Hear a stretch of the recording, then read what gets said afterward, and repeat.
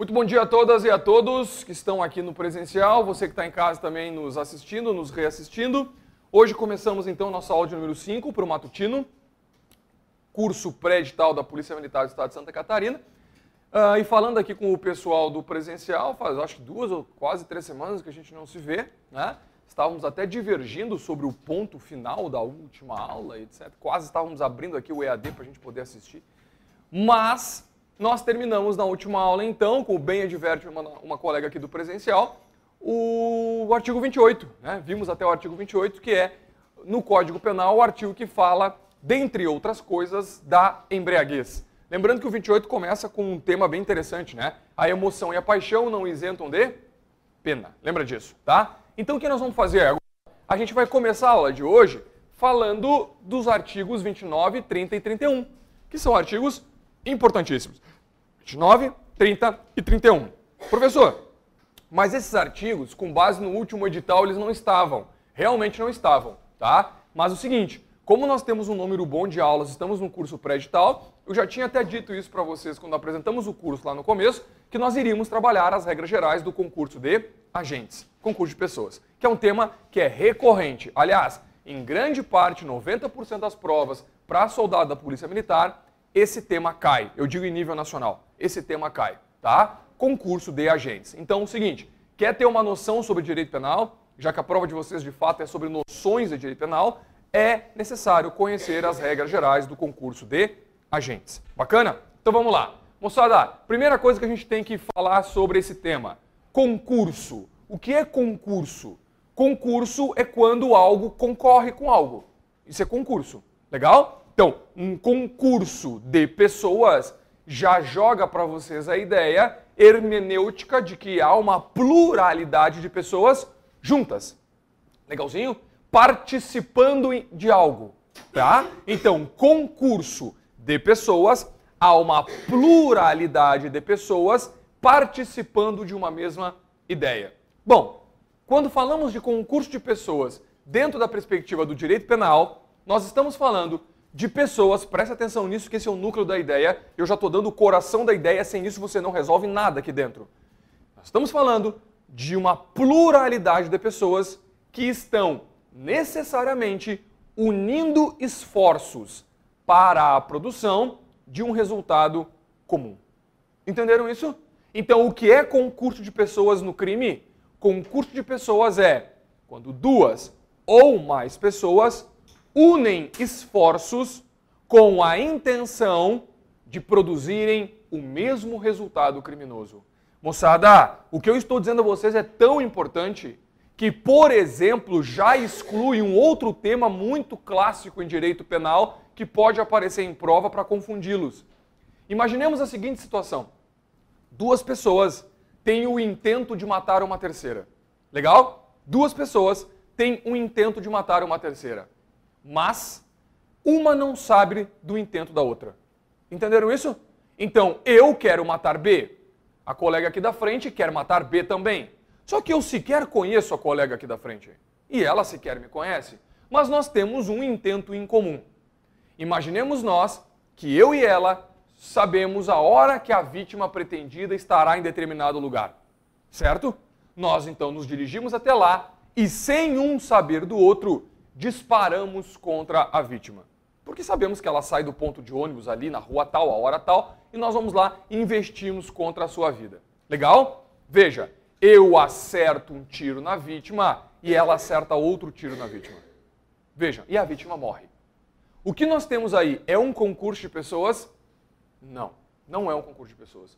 Por uma circunstância muito óbvia. Não havia união de esforços. Ou, como pode aparecer na tua prova, não havia comunhão de desídios, comunhão de esforços, união de vontades. Entenderam isso? Na prova, isso pode aparecer para você com dois nomezinhos. Isso pode ser o que eventualmente se chama de autoria. Autoria incerta. Ou a autoria colateral. Vamos lá. Galerinha, na hora da perícia, se fizerem a perícia e conseguirem chegar à conclusão de que o professor Marcelo atirou na cabeça da vítima e ela atirou na mão da vítima, o que nós temos? Nós temos em relação a mim uma, um homicídio. Em relação a ela, uma tentativa de homicídio. Entenderam isso? Então veja, em relação a mim, um homicídio. Em relação a ela, uma tentativa de homicídio. Aliás, né? Lembra da nossa aula sobre o nexo de causalidade? Ok? A pessoa só pode responder por aquilo que ela deu causa. Ela não deu causa à morte, quem deu causa à morte fui eu que atirei na cabeça. Percebem? Então eu só posso responder pelo homicídio e ela só pode responder pela tentativa de homicídio, porque ela não matou a vítima. Quem matou fui eu. Tranquilo? Então, nessa circunstância, nós estamos diante de uma autoria colateral. Então, se cair na tua prova, por favor, na autoria colateral, há dois ou mais agentes envolvidos na cena do crime, mas não é concurso de pessoas, porque não há entre eles vontades mútua. Eles não estão ali se ajudando mutuamente. Entenderam isso? Então, cada um responde por aquilo que efetivamente fez. Quem matou, responde pela morte. Quem tentou matar e não matou, responde pela sua tentativa. Agora, pode acontecer, eventualmente, de que a perícia trabalhe no caso concreto e não consiga chegar à conclusão de quem produziu a morte. Isso pode acontecer. Veja, imaginemos que os dois disparos pegaram em áreas vitais e a perícia olha e diz: Olha, eu não consigo dizer se foi esse aqui ou esse aqui. Ou a perícia às vezes até consegue dizer da onde, aliás, qual é o projétil que matou. Oh, o projétil que matou é esse aqui. Agora, imaginemos que eu e ela tenhamos usado uma arma de mesmo calibre. Pô, a perícia vai olhar e vai dizer, tá, mas as, a, a, bala que matou é essa aqui, ó. Tá? Aí se aprende as duas armas, é, mas os dois estão com arma do mesmo calibre. Se faz uma perícia na arma, a perícia não chega a uma conclusão. Logo, nós não sabemos quem matou. Logo, então, estaremos diante de uma autoria incerta. Viram isso? Uma autoria incerta. E agora, presta atenção. Porque na autoria incerta, em razão do princípio do indúbio pro réu, os dois, ou três, ou quatro, nesse caso dois, vão responder apenas pela tentativa. Entenderam? Professor, pela tentativa de um crime consumado. Perfeito. Pela tentativa de um crime que foi consumado. E isso em razão da indúbio pro réu. Eu não sei quem é. Eu não tenho certeza de quem matou. Eu não tenho certeza. Eu sei que houve uma morte, mas eu não sei quem matou. Se foi ele ou se foi ela. Eu não consigo dizer.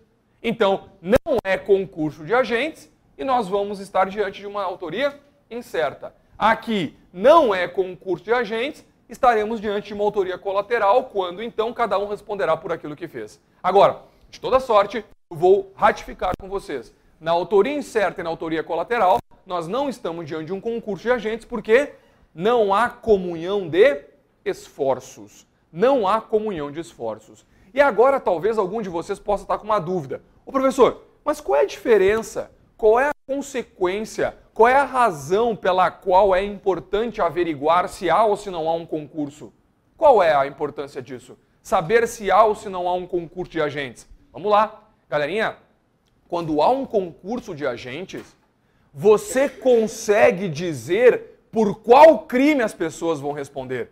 Entendeu isso? Então vamos lá. Se você chegar à conclusão de que eu e ela estamos unindo esforços para um furto, ainda que ela tenha tido condutas absolutamente diferentes da minha, ela também vai responder pelo furto.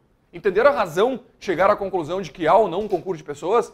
Tá? E agora, olha, outra, olha que outro ponto interessante. O concurso de pessoas, em muitas circunstâncias, ele é uma causa de aumento de pena. Por exemplo, no furto, é uma qualificadora. Por exemplo, no roubo, é uma circunstância especial de aumento. Legal? Aliás, pode ser uma agravante genérica também. Então, definir se há concurso de agentes, primeira, primeira importância, é definir por qual crime as pessoas respondem. Ok? Segunda ideia é, por exemplo, ter uma influência sobretudo na pena. Porque o crime que é praticado em concurso de pessoas, não há dúvida de que é um crime mais grave. É um crime no qual a atividade criminosa se rebuscou. Se tem mais pessoas para se tentar com mais efetividade chegar à conclusão do crime. Conseguem perceber isso? Né? Lógico. Por que uma pessoa pratica crime em concurso de pessoas? Para que com maior número de pessoas seja possível efetivar o seu intento criminoso. Isso é uma coisa óbvia. Isso me parece muito claro também, que deixa a atividade criminosa mais punível, mais culpável. Conseguem perceber? Tranquilo? Bom, então vamos lá. Concurso de pessoas, necessário que haja comunhão de esforços. Se não houver comunhão de esforços, ou seja, mútuo esforços, mas mesmo assim as pessoas se ajudarem sem saber, poderá ter uma coautoria incerta, uma autoria colateral, que não são hipóteses de concurso de pessoas. Certo isso? Tá. E agora presta atenção. Eu já trouxe para vocês um elemento que é fundamental, com o qual vocês não trabalham, que é justamente a comunhão. Mas agora eu vou trazer um outro elemento, sobre o qual, inclusive, eu já comecei a falar, não sei se vocês perceberam, mas agora vou chamar a atenção sobre ele. Eu acabei de dizer, acabei de dizer, que uma das importâncias fundamentais de definir a existência ou não de um concurso é chegar à conclusão de qual crime será imputado a todas as pessoas. Certo? Acabei de dizer isso. Então preste atenção agora. Isso cai em prova demais. Despenca em prova assim, ó. De acordo com o direito penal brasileiro, é possível afirmar que a teoria que vale para o concurso de pessoas é a chamada teoria monista. O que, que significa isso? Significa justamente aquilo que eu acabei de falar. Todos, presta atenção, galerinha, todos que de qualquer forma colaborarem para atividade criminosa vão responder por ela. Entenderam? Então, se a colega colaborou comigo para um furto, ainda que ela não tenha feito as mesmas condutas que eu, ela vai responder pelo furto. Pelo furto. Entenderam isso? Qual é o crime dela? Furto. Então bota na cabeça.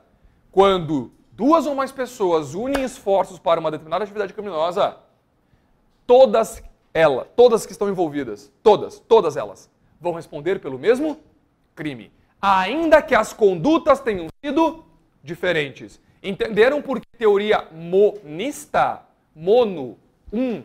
Entenderam isso? Agora, eventualmente, presta atenção em mim, pode acontecer do direito penal brasileiro adotar uma teoria dualista.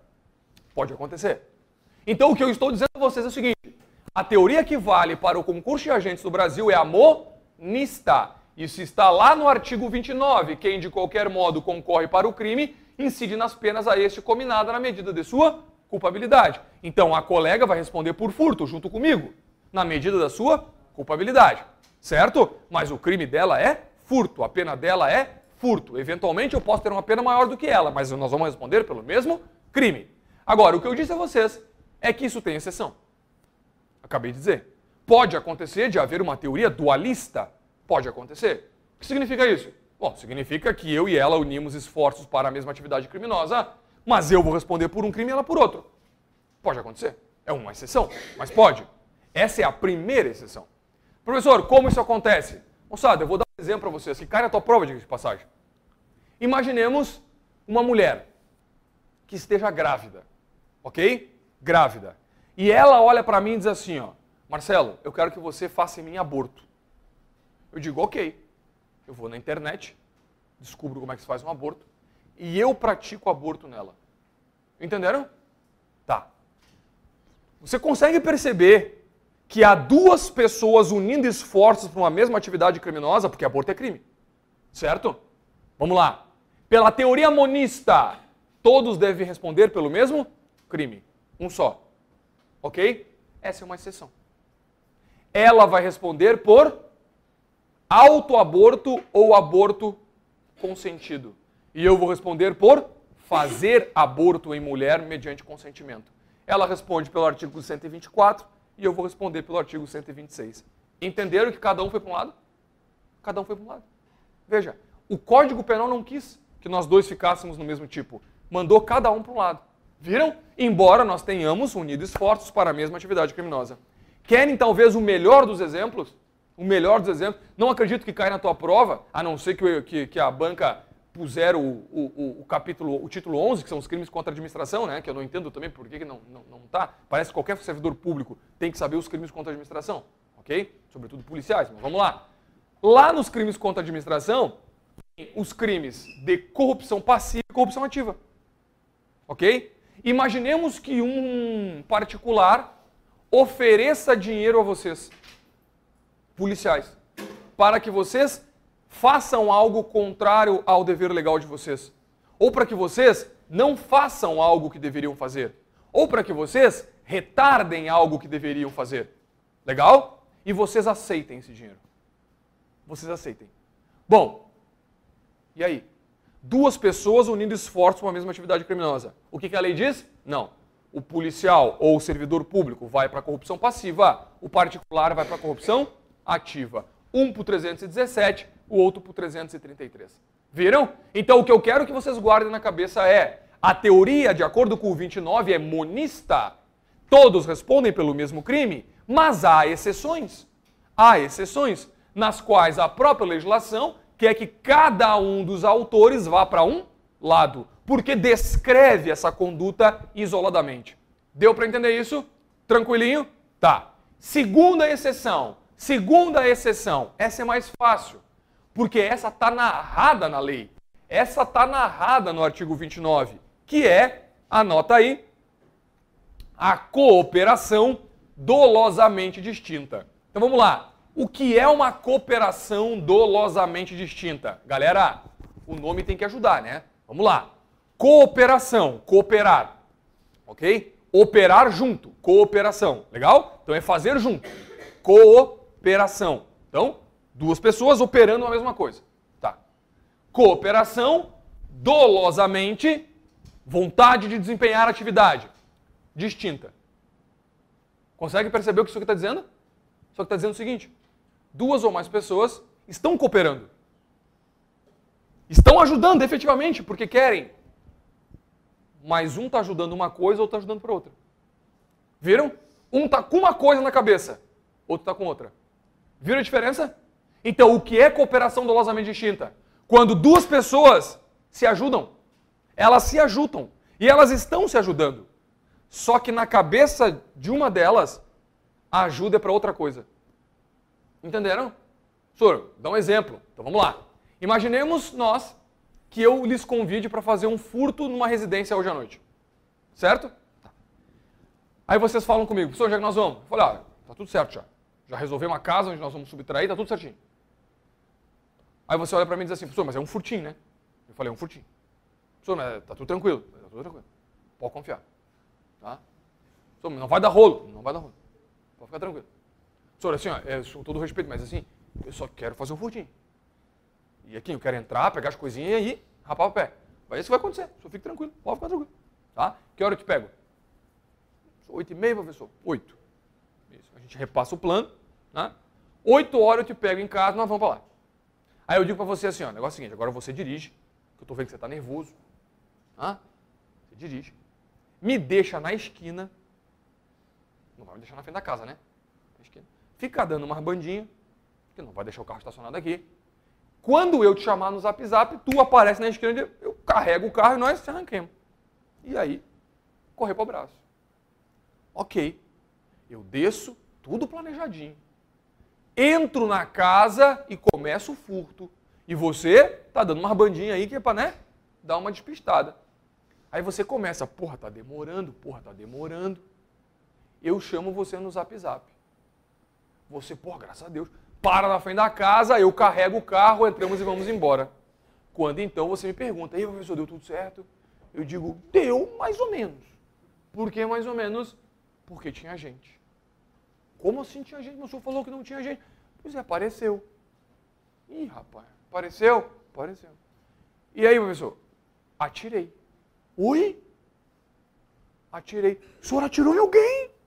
Atirei. E aí, pessoal? Eu matei uma pessoa. Eu acabei de praticar um latrocínio. 157, parágrafo 3 do Código Penal. Vocês me ajudaram, sim ou não? Vocês cooperaram comigo, sim ou não? Mas lógico! Vocês me levaram até lá, traçaram o plano comigo, me tiraram de lá. Óbvio que vocês cooperaram. Agora, a cooperação de vocês era dolosa, mas era distinta, era para outra coisa.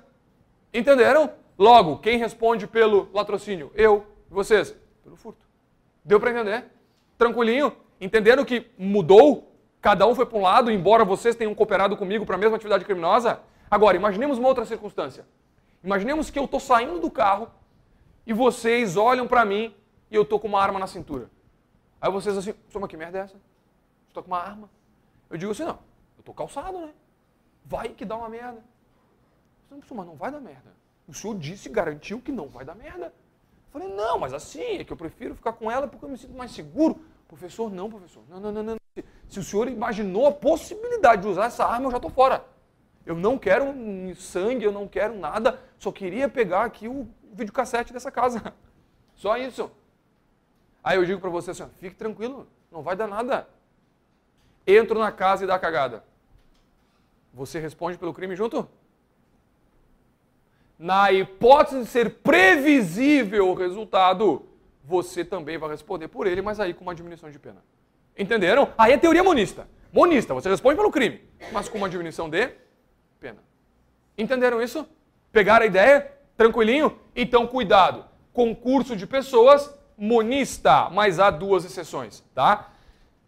A gente chama de tipificação autônoma quando a lei resolve dar tipos diferentes, como por exemplo o aborto, como por exemplo aqui a hipótese da corrupção, ou simplesmente a, co a cooperação dolosamente distinta, quando os agentes cooperam, mas um não sabe que está cooperando para a mesma atividade do outro. Tranquilo isso? Bacana? Tá bem. Moçada, para continuar entendendo o concurso de pessoas, agora eu preciso que vocês compreendam uma outra coisa. Professor, para que haja concurso, as pessoas então não precisam ter a mesma conduta. Não, já falamos sobre isso. Quem colaborar de qualquer modo com uma conduta já responde pelo crime. É. Mas olha que interessante. No direito penal brasileiro, assim como em boa parte do mundo, há uma diferenciação entre aqueles que cooperam. Essa diferenciação, ela se pauta em dois institutos. O Instituto da Coautoria e o Instituto da Participação. O que significa isso? Vamos lá. Quem é coautor de um crime? Coautor de um crime pode ser trabalhado a partir de duas teorias. Duas. A primeira teoria a respeito de quem é o coautor do crime é: coautor de crime é aquele que desempenha o verbo. Entenderam? Coautor é aquele que desempenha verbo. Então, moçadinha, qual é o verbo do crime de uh, furto?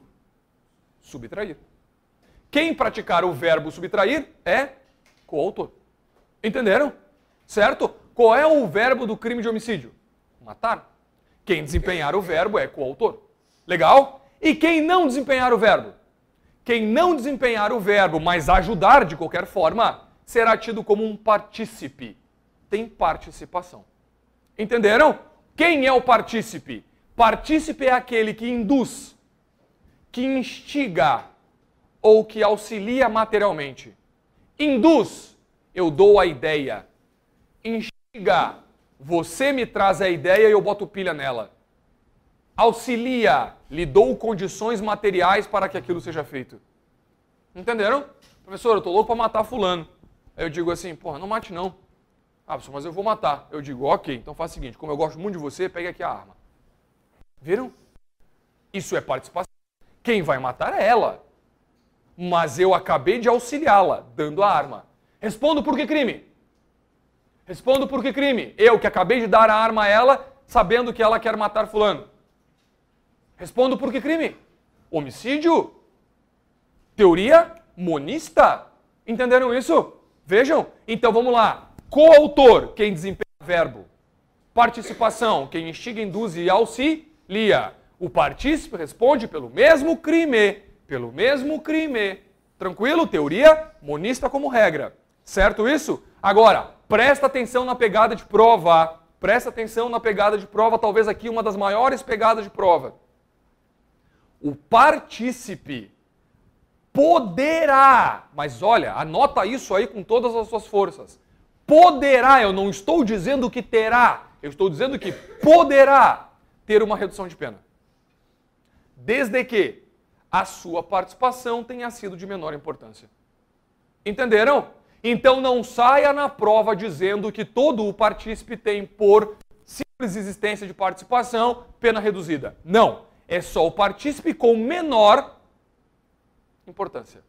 Entenderam? Ô galerinha, eu acabei de dar arma para ela matar uma pessoa. Essa é uma participação de menor importância? Óbvio que não. Óbvio que não. Olha só a questão que eu vou trazer para vocês. Lembra do caso Suzanne Richthofen? Lembra desse caso? Para quem não lembra, Suzanne Richthofen, junto com o namorado da época, o irmão do namorado, eles mataram os pais dela, apauladas, enquanto dormiam. Certo?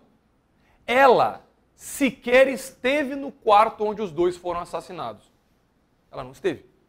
Segundo narra o processo, ela ficou na sala, lá embaixo. Ok? Ela ficou na sala, lá embaixo. Enquanto os dois subiam e uh, matavam os pais dela à paulada. Agora, como eles entraram lá? Quem os levou? Quem arquitetou toda a atividade criminosa? Os três.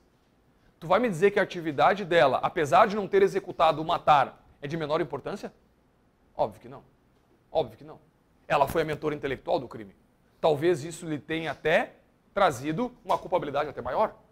O fato dela ter arquitetado toda a atividade criminosa, pensado, estruturado tudo, em que pese não tenha sido ela a autora dos golpes, faz com certeza dela a mais culpável de todas ali. Até porque eram pais dela. Olha a culpabilidade como muda. Ok? Aquelas duas pessoas, aqueles dois meninos, que eram meninos na época, né, 19, 20 anos, estavam matando alguém. E ela lá embaixo estava colaborando para matar os pais. Viram a diferença? Eles estavam matando alguém. E ela, os pais. Então a culpabilidade dela é maior.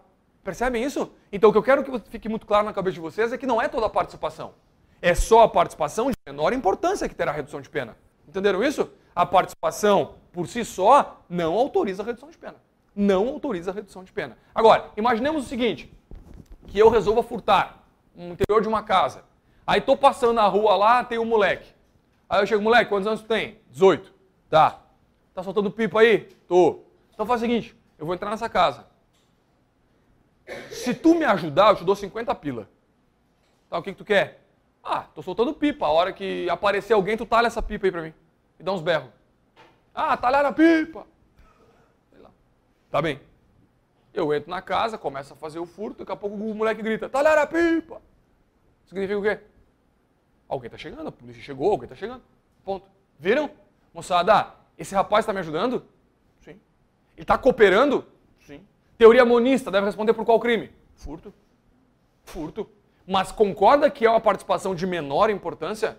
É. É. Então ele tem direito a uma redução de pena, embora vá responder pelo furto.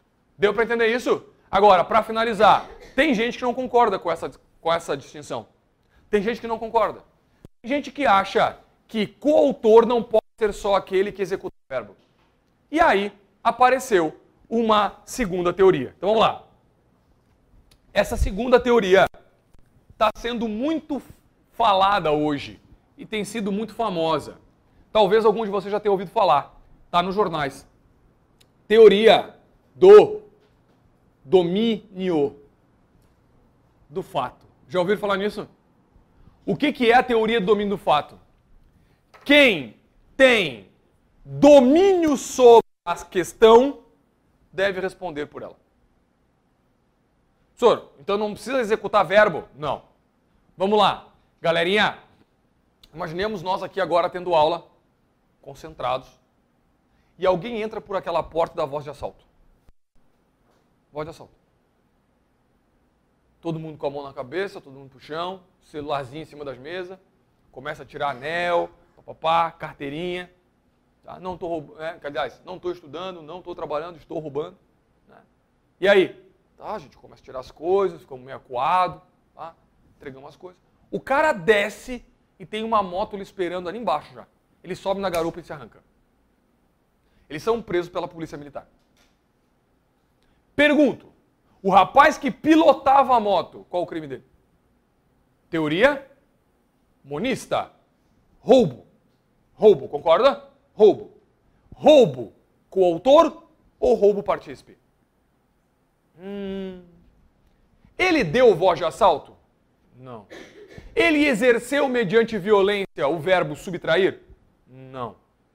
Entenderam? Que para a primeira ideia que nós estávamos trabalhando, ele é partícipe? Ele é partícipe. Essa teoria agora vem dizer o seguinte: não, para mim esse cara lá embaixo também é autor. Sabe por quê? Porque para mim, autor e coautor são todos aqueles que de qualquer maneira dominam a situação fática. Ou seja, são pessoas em relação às quais se percebe um domínio do fato. Sem ele, a atividade saía conforme planejada? Não. Ele é uma peça-chave na atividade criminosa? Fundamental. Portanto, ele deve responder como coautor. Viram? Professor, então deixa eu ver se eu entendi. É mais uma questão técnica do que propriamente consequência prática aqui no, no que nós estamos vendo. É. É. Tá? É. Então, para essa teoria, quem é autor? Autor é quem tem domínio do fato.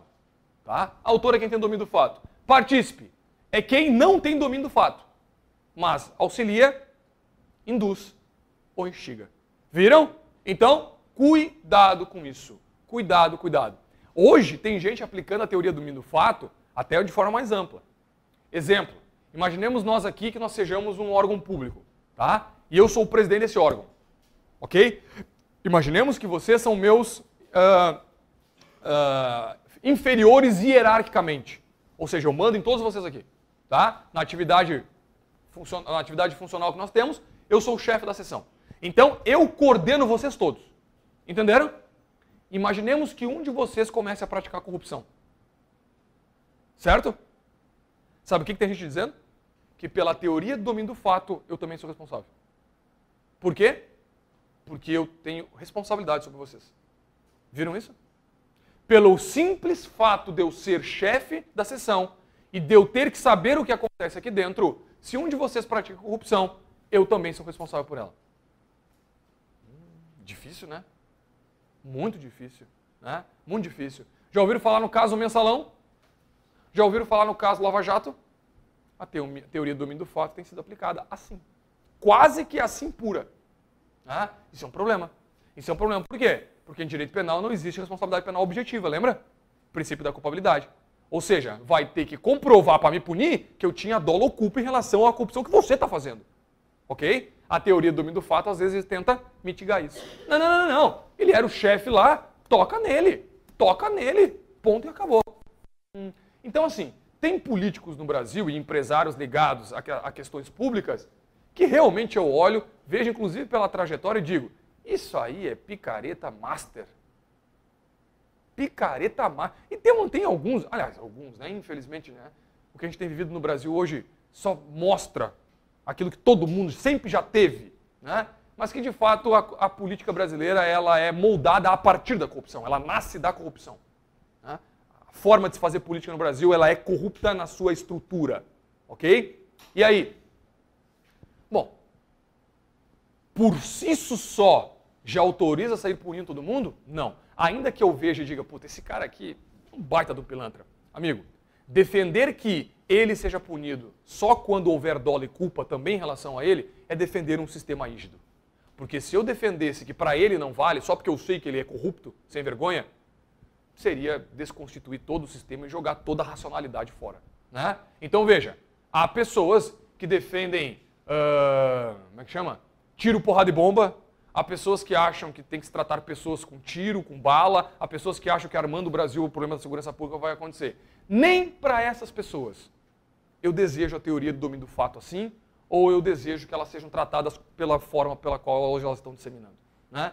Então, nem nessa circunstância. E, sobretudo, essa semana, não sei que dia que você em casa está assistindo essa aula, mas ontem a gente teve o assassinato de uma vereadora no, no Rio de Janeiro, que representa muito, muito, muito, muito do que eu penso acerca da, da, segurança pública, representa muito do que eu penso acerca de direito penal, de processo, de uma sociedade minimamente igualitária. Uma mulher que sempre lutou por direitos humanos é calada com tiros. Isso é um recado político gigantesco para um país que se diz de direito e para um país que se diz democrático. Gigantesco. Isso é um recado político gigantesco. Ou seja, não se meta nesses assuntos que senão você leva bala na cara. Ponto. Viram? Então, pessoas que hoje, em locais como o Rio de Janeiro, vão ocupar o lugar dessa mulher, a Marielle, e vão continuar a fazer uma luta pela defesa daqueles que tradicionalmente são jogados à margem pelo, pelo métier político, essas pessoas não só elas devem ser valorizadas pela solidariedade que têm e pela humanidade que tem em se preocupar com outros, mas pela coragem que têm, porque elas estão expondo agora a sua cabeça às balas que sabem que não é historinha, que elas acontecem porque a mulher foi assassinada com não sei quantos tiros na cabeça ontem. Ok? Então isso é uma tragédia para a democracia brasileira. É uma tragédia o que aconteceu. Tragédia. Significa que no Brasil, ou você aceita as coisas como são, calha a boca e vá para dentro de casa, ou senão você vai morrer assassinado na rua. Ponto. E nós estamos em 2018. 2018. Então pensem em que filhos, em que mundo vocês querem para os filhos de vocês para a família de vocês e para vocês. Pensem, pensem, porque não está mais na hora, aliás, já passou da hora, de nós no Brasil acharmos que isso é um problema dos outros. Ah, mas a segurança pública. Ah, o Alceu, que agora é o secretário de segurança, que se vire com isso. É dele o problema, não é meu. Não, o problema é nosso. Né? Quando isso acontece, isso não é uma questão de, de defesa dos direitos negros ou de defesa da mulher, isso é uma questão de defesa dos interesses de uma sociedade que quer ser livre e que de fato quer ser democrática. Seja você branco, negro, mulher, trans, homem, não interessa. Calar uma pessoa a tiros que defende direitos humanos. A tiros. Ponto. Como se não fosse nada. Então isso não é um problema. Se você não está com medo, você não entendeu. Se você não está preocupado, você não entendeu o que aconteceu. Então vá ler e vá estudar, porque você não entendeu o que aconteceu. O Brasil está jogado, jogado, nós estamos perdidos. Jogados, nós somos jogados no lixo a partir de agora. Nós literalmente chegamos ao fundo do poço. Tá? O Rio de Janeiro chegou ao fundo do poço. Né? Assim, as claras. Acho que nós precisamos mexer nisso. E vocês vão ser polícia. Presta atenção. Vocês vão ser polícia. Vocês vão carregar o Estado no peito de vocês, no braço, e vocês vão ter uma arma na mão. Prestem atenção. Vocês vão ser polícia. Vocês talvez sejam um dos agentes mais importantes para o Estado. Polícia. Ok? Segue o baile. Quando eu digo, então, do domínio do fato, eu falo de uma teoria que define coautor e aí eu chego numa outra conclusão. Vamos sintetizar. Quem é autor e coautor?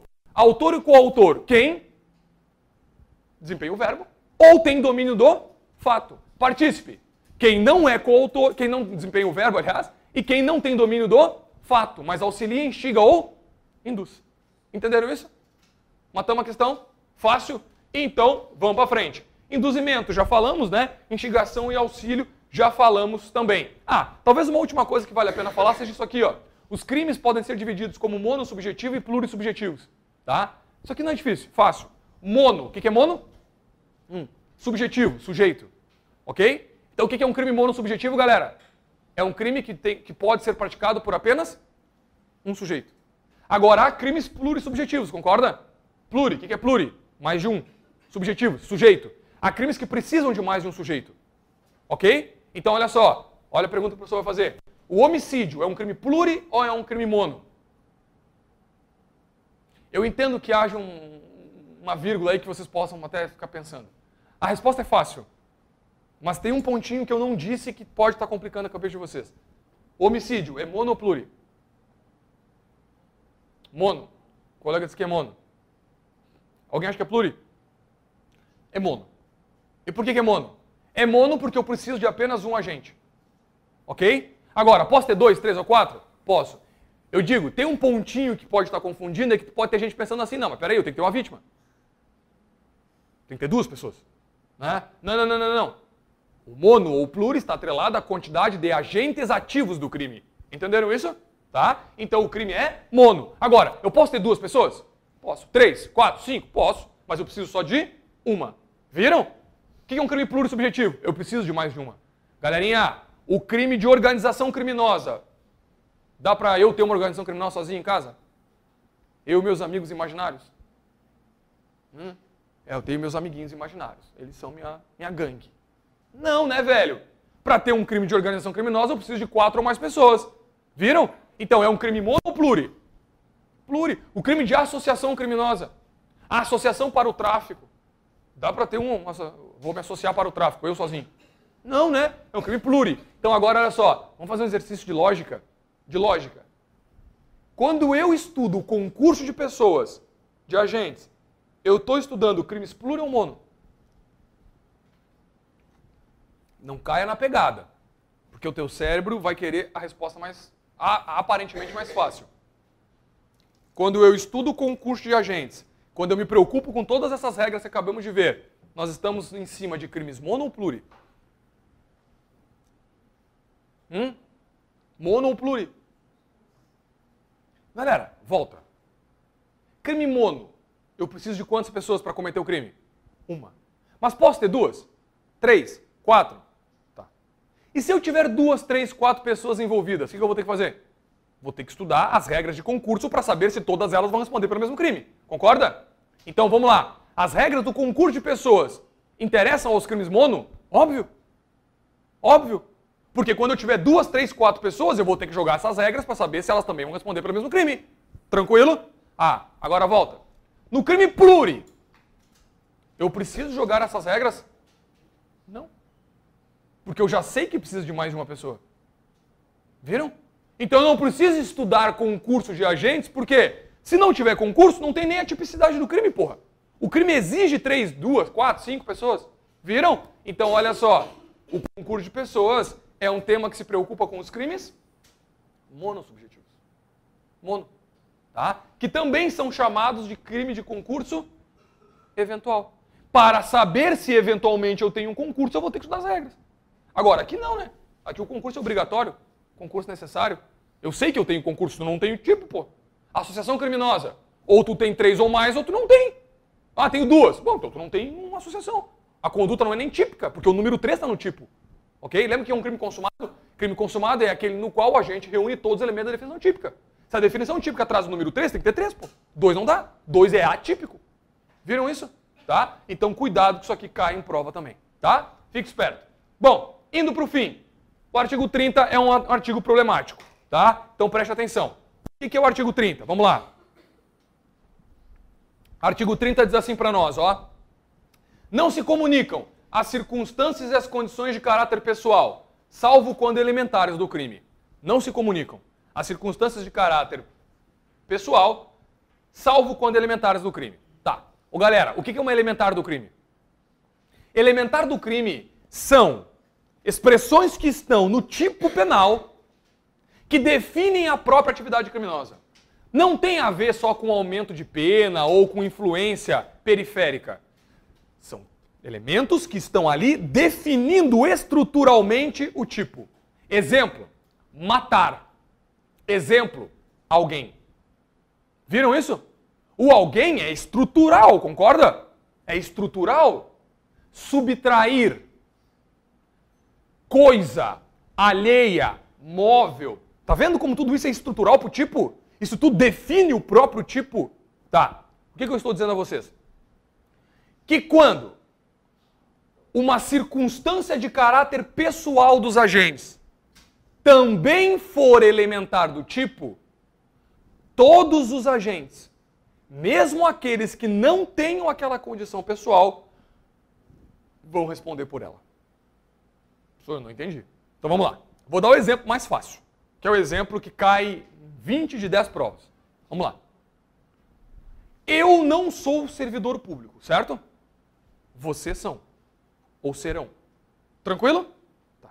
Imaginemos nós que vocês me convidem para um crime de peculato, no qual vocês vão subtrair algo de dentro da delegacia ou dentro do batalhão. Entenderam isso?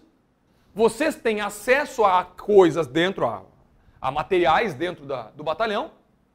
E vocês me disseram, professor, vamos participar disso aí? Eu digo, vamos.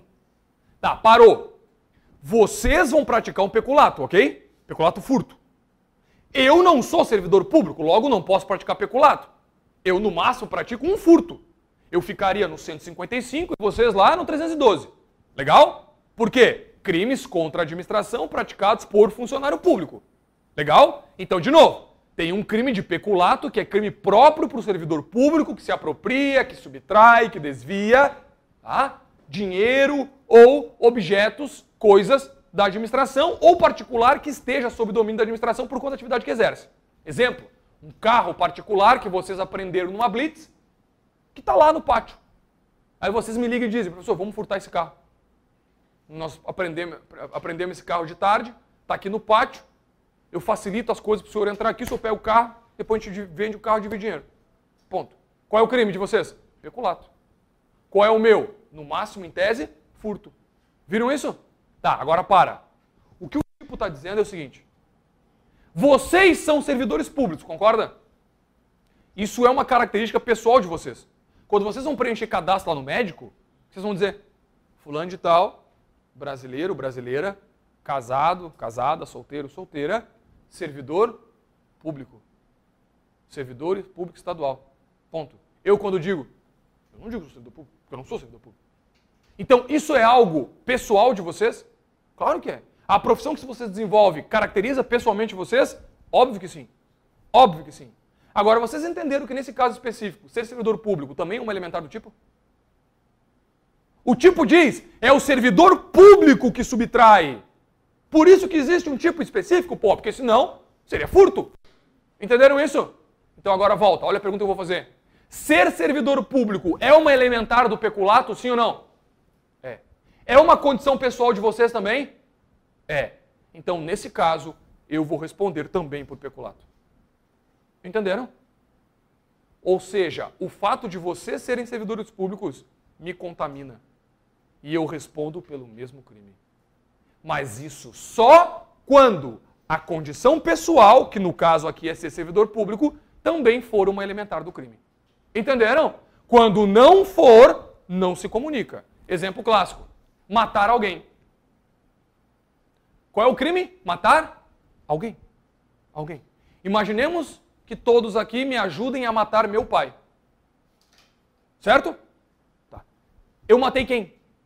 Meu pai. Vocês mataram quem? Alguém. Vocês entenderam que o fato da vítima ser meu pai é uma condição pessoal minha? E vocês entendem que é mais grave matar o próprio pai?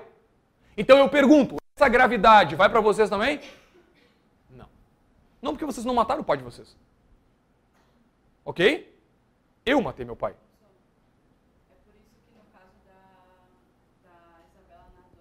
Ah, sim, perfeito, né? No caso Isabela Nardoni, ele matou a filha. E ela? Alguém? Os dois responderam pelo mesmo crime, mas ele fica com a pena maior, ele tem mais culpabilidade. Agora, imaginemos que o crime fosse matar o próprio filho. Imaginemos, matar o próprio filho. Esse é o crime. Opa, é uma condição pessoal dele, Alexandre Nardoni, ser pai daquela menina, certo? Mas o tipo é matar o próprio filho. Ela ajudou ele a matar o próprio filho. É um caráter pessoal dele, mas que também é elementar do tipo. Logo se comunicaria com ela.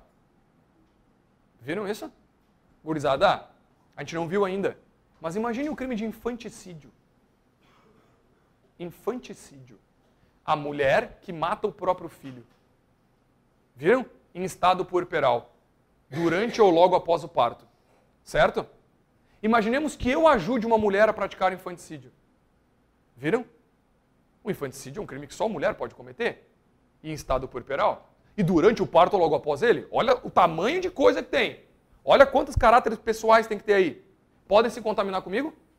Eu posso responder por, por infanticídio? Posso. Porque todos aqueles caráteres pessoais também são elementares do tipo. E eu estou unindo esforços para aquilo. Então eu responderei pelo infanticídio. Mas eu sou homem. Não tem como ter próprio filho. Como é que eu vou matar o meu filho durante o parto? Eu não tenho parto. Não. Mas o fato de essas condições pessoais serem elementares do tipo faz com que contamine quem junto estiver. Viram? Aí que tá, né? A gente chama de participação, tá? que é um crime de mão própria. Mas enfim, isso a gente pode falar mais tarde, tá? O fato é que haverá concurso, tá? Haverá concurso. Exemplo, já ouviram falar em abandono, moçada? Crime de abandono? Seja abandono material, seja abandono intelectual. Imaginemos uma mulher, um homem, casado, com uma pessoa que já tem um outro filho. E essa pessoa diz assim, ó, ah, não paga pensão não. Deixa teu filho lá, já tá grande, que se vire. Ou deixa tua filha lá, não paga pensão, papapá. Ah, deixa. Opa. Essa pessoa tem responsabilidade com aquela criança? Não. Não tem. O crime de abandono só pode ser praticado por pessoas, né? O filho que tem responsabilidade com o pai, o pai que tem responsabilidade com o filho. Mas vocês viram que essa pessoa está participando comigo nessa ideia? Então ela pode responder pelo mesmo tipo. Porque é uma condição de caráter pessoal minha, mas que também é elementar do tipo. Logo se comunica com ela ou ele. Viram isso? Tá? Então cuidado, cuidado, cuidado, que o artigo 30 cai em prova, vamos ler. Não se comunicam as circunstâncias e condições de caráter pessoal. Cada um fica com, seus com as suas características. Na hora que o juiz vai fazer a pena, cada um responde por aquilo que representa. Agora, se aquilo que tu representa pessoalmente é uma elementar do tipo, contamina todos que estão junto contigo, tá? Salvo quando elementares do crime. Viram? Avança. 31. O ajuste, a determinação ou instigação e o auxílio, salvo disposição expressa em contrário, não são puníveis, se o crime não chega pelo menos a ser tentado. Meio óbvio, né? Concorda que é meio óbvio? Ou seja, nós aqui uh, combinamos um crime, mas sequer tentamos o crime. Então o fato da gente ter combinado o crime não significa nada. Deu para entender? Vocês até já tinham elementos para resolver isso. Quando eu falei a vocês que o crime só se. a, a, a punibilidade do, do iter-crime só começa com a execução. Né? Meio óbvio. Então veja, tá? Se nós aqui não chegarmos pelo menos a tentar o crime, não tem crime. Agora, salvo disposição expressa em contrário. Por quê? Bom, porque nós podemos aqui montar uma associação criminosa, concorda? Concorda? Podemos montar uma associação criminosa. O que é associação criminosa? Três ou mais pessoas que se unem de modo reiterado e permanente para a prática de crimes. Podemos montar? Nunca praticamos crime nenhum no sentido de executar aquilo que planejamos, mas nós praticamos o crime de ter uma associação para praticar crimes. Viram isso? Ah, viram? Então olha só, cuidado. Aquele que faz parte da associação já cometeu um crime, mesmo sem nunca ter feito nada daquilo que efetivamente eles combinaram. É uma associação para homicídio, mas essa pessoa nunca matou efetivamente alguém ou nunca participou de um plano específico, mas ela está associada a isso. Responde pela associação. Que nem o crime de organização criminosa, pô. Nós integramos uma organização criminosa para lavagem de dinheiro. Eu posso ser responsável só pela organização. Aliás, vocês lembram de um, um músico? Não sei se ele é músico, se chama de músico ou cantor. É um cantor, né? É famoso aí, acho que canta samba e tal. Foi condenado por o crime de associação ao tráfico de drogas no Brasil. O crime de associação. E, aliás, né, bota no YouTube, deve ter ele sendo preso em casa, né? Ele tinha um esconderijo em casa, embaixo de uma escada, assim, quando a polícia civil chegou no, na casa dele, o policial começou né, nas paredes. Opa, oco. Ih, rapaz, não tem parede aqui não, é oco. Vamos ver o que, que tem. Aí abriu, ele estava sentadinho. Né? Um buraquinho desse tamanho, o cara fez um buraquinho, rapaz, na parede da casa, para se esconder. Mas tá aí, tá aí. E, enfim, foi condenado por associação ao tráfico. Né? Ao tráfico de drogas. Mas não por tráfico de drogas. Viram? Mas não por tráfico. Então, é um crime, é um crime uh, associativo no qual ele nunca desempenhou tráfico de drogas, mas se associou para aquilo. Viram? Então, esse já é o crime. Esse já é o próprio crime, tá? Só, então ele nunca precisa ter feito o tráfico. Não. Ter se associado para o tráfico já é o próprio crime. Tá bem? Então cuidado com isso, essas coisas caem em prova. Vamos seguir? Vamos lá. De acordo com a disposição do Código Penal relativas ao concurso de pessoas, Analise as afirmações a seguir.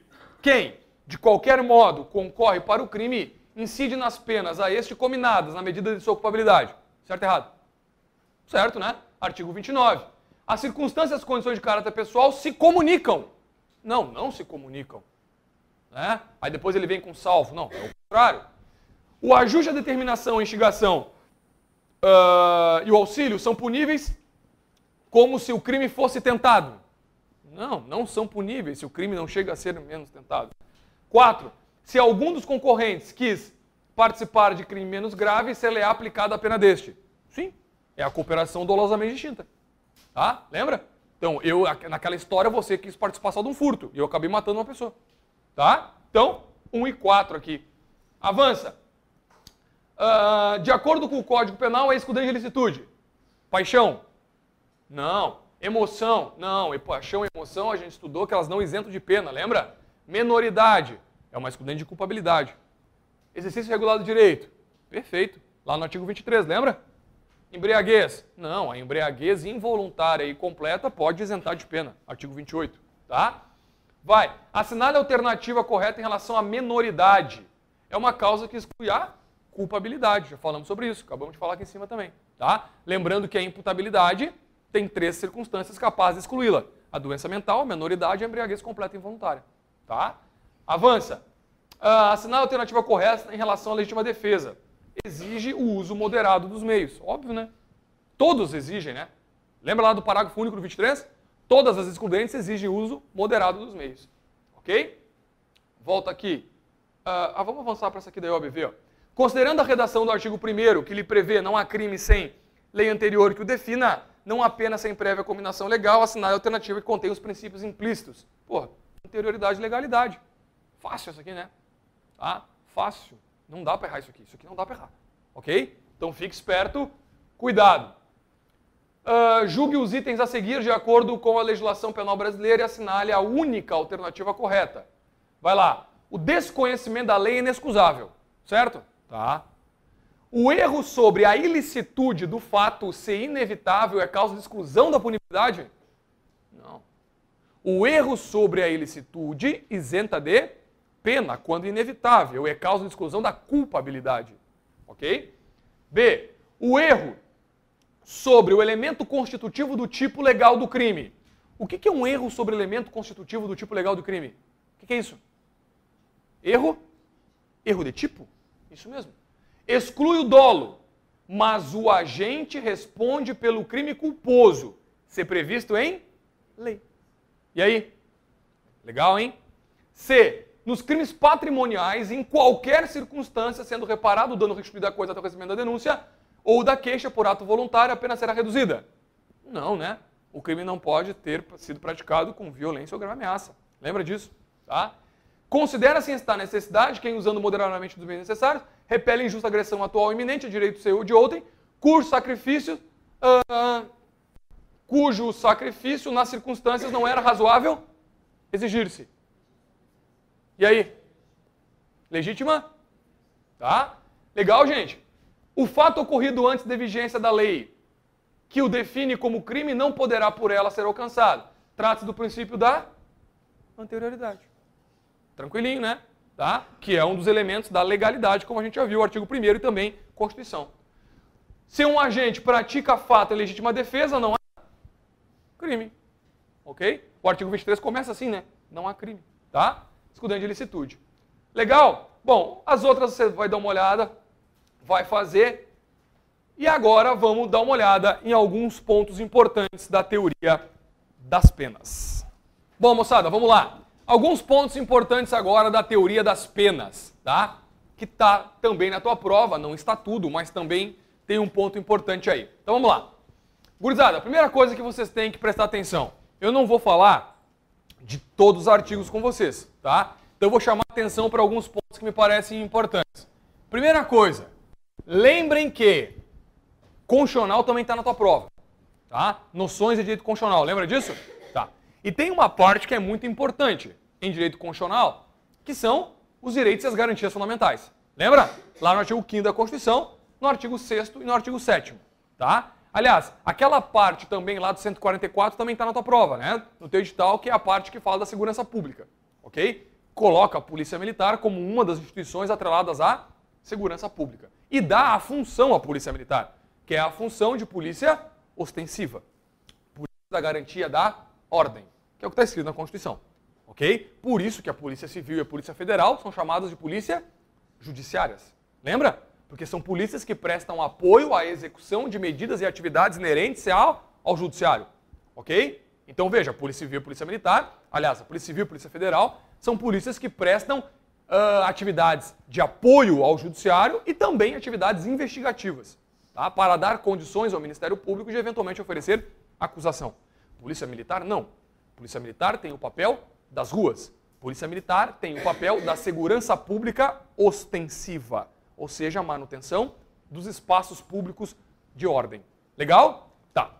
Embora a palavra ordem possa ter uma porção de problemas aí e questões a serem trabalhadas. Certo? Bom, volta para cá. Por que eu estou dizendo isso para vocês? Porque o artigo 5 da Constituição, ele estabelece um ponto que me parece muito importante para as provas. Ponto que pode cair na prova de constitucional ou na prova de direito penal. Que é, quais são as penas que em direito penal não podem existir? Lembra disso? Vocês leram na Constituição. E quais são? Primeiro, pode pena de morte no Brasil? Não, não pode pena de morte no Brasil a não ser dentro da possibilidade do Código Penal Militar, ok? Numa circunstância muito específica. Lembrando que não tem direito penal militar na tua prova, logo então, se cair na, na, cair na tua prova, nunca pode ser o gabarito. A não ser que o próximo edital traga o direito penal militar, tá? E o processo penal militar. Legal? Então, pena de morte no Brasil existe? Não. E assim, né? Eu não sei se o artigo 60 está compreendido dentro do que você já estudou. Mas essa discussão sobre se ter pena de morte é bom ou não é uma discussão inócua no Brasil. Ela é inócua, ela é estéreo. É uma discussão que não produz nada. Por quê, professor?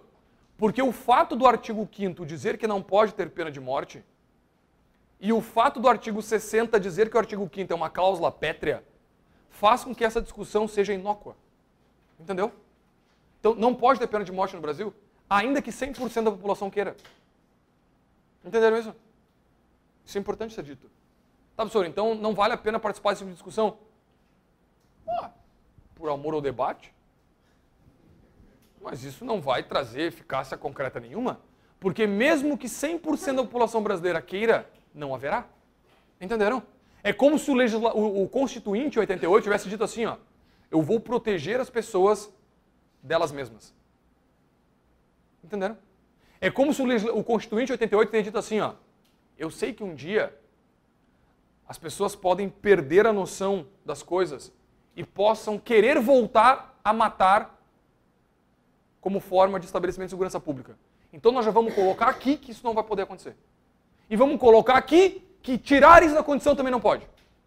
Entenderam? É o constituinte, há 30 anos atrás, protegendo o futuro daquilo que ele achou que era um problema. Certo? Então, por exemplo, quem é aqui do direito, e quem não é, né? Parece que esse é um assunto que está para além do, do direito, né? Sabe que o Brasil já teve mais de uma Constituição, né? Aliás, sabe que no século passado nós tivemos algumas Constituições. Né? Que fazer Constituição não era problema para nós. Né? Isso a gente gostava. Tá? Cada 10, 20 anos a gente fazia uma. Ok? 88 teve a última Constituição da história brasileira. E eu estou dizendo que é a última forever. Isso nunca mais vai ter, nunca mais vai ter.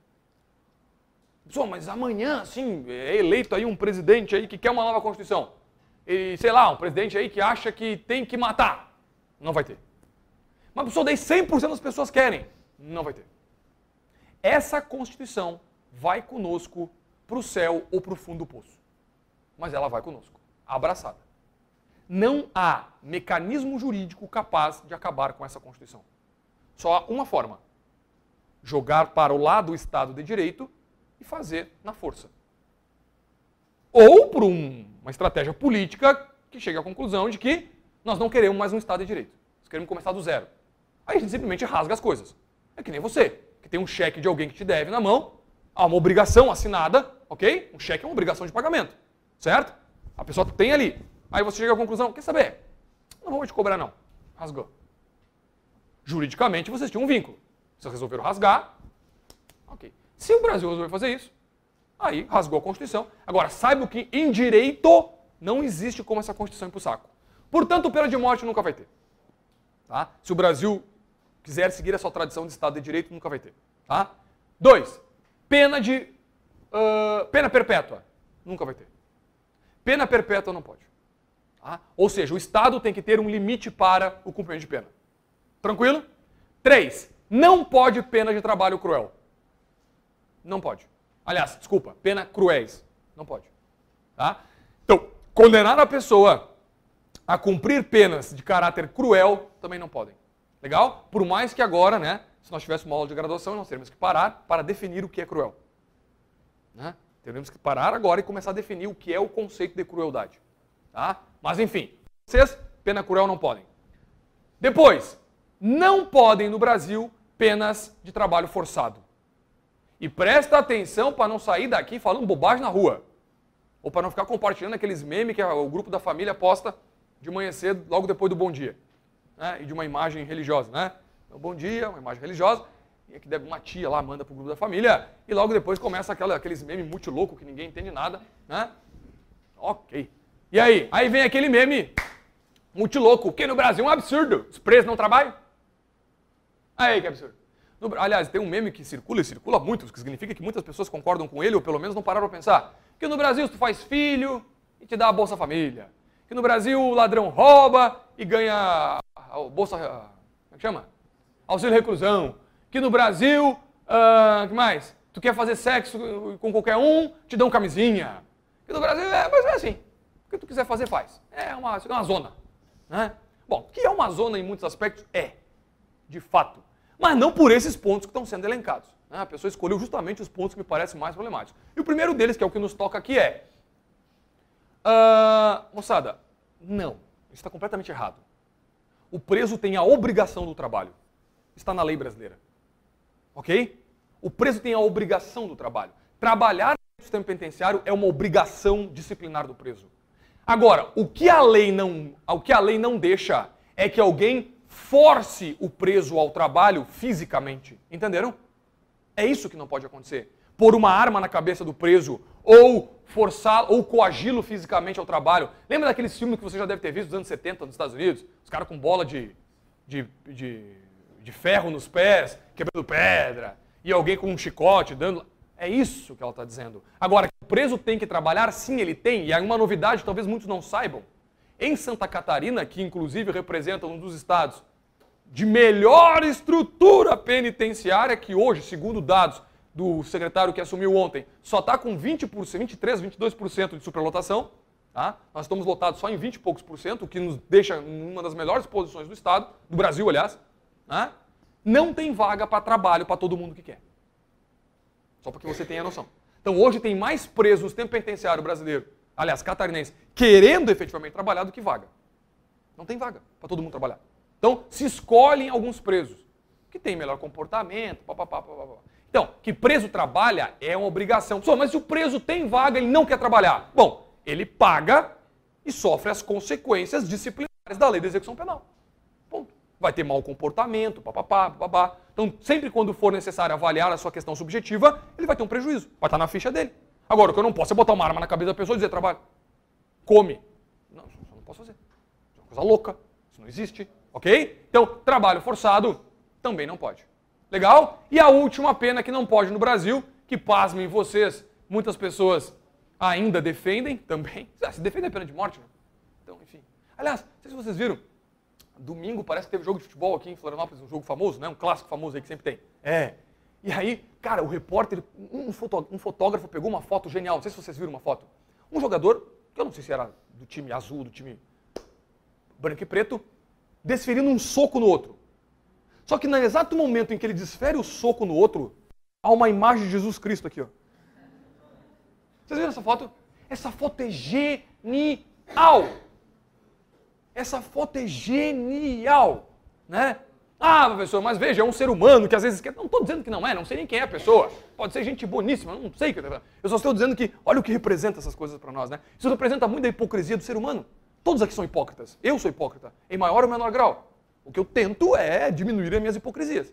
Né? Mas isso é uma hipocrisia gigantesca. Né? O que eu estou dizendo é que a grande maioria da população brasileira se diz cristã. E hoje pesquisas mostram que grande parte dos cristãos defende a pena de morte. Isso é genial, né? Isso pode ser representado pela foto, né? né? Deus está entre nós, né? Deus está entre. E de fato, cara, e a foto ficou. Ge... Quem é o fotógrafo? Não sei quem é. Um parabéns, porque o clique foi genial. Deus está entre nós. Né? Então, Jesus Cristo aqui, Deus, Buda, sei lá como é, é o nome, é Santíssima Trindade, né? Representa ali no meio do... Genial. O que eu estou dizendo? Que muita gente ainda defende a pena de banimento no Brasil. O que é banimento? O cara é condenado e é mandado embora. Vai embora. Não pode ficar no Brasil. Tá? Isso não pode. Ok? Isso acontecia. Então, ser condenado e ser mandado embora não pode. Que é a famosa pena de banimento tá? Você não pode ser banido da sua nação. Legal? Então é mais ou menos assim, tá? O filho que deu problema pro pai. Não adianta botar num colégio, num internato e se abandonar, vai ter que continuar cuidando, velho. A mesma coisa nós, tá? O que nós vamos fazer com esse monte de, de gente aí? Esse monte de colarinho branco aí que tá roubando nosso dinheiro há anos, diga-se de passagem. Vamos mandar embora? A gente até queria muitas vezes, né? Mas vamos ter que cuidar deles, tá? Vamos ter que cuidar deles os senhores do colarinho branco inteiro. Tá? Ok? Tranquilo? Essas penas não podem. E agora vem a pergunta. E quais são as penas que podem? Quais são as penas que podem, então? Agora presta atenção. A Constituição diz assim, ó. Eu não vou dizer quais são as penas que podem, eu vou dizer as que não podem. Entenderam? E ela diz: a lei definirá as que podem. E a lei definiu, então preste atenção, porque isso está no teu artigo 32 do código e vai cair na tua prova. Penas que podem. Prisão. Pode. E definida pela legislação. Depois,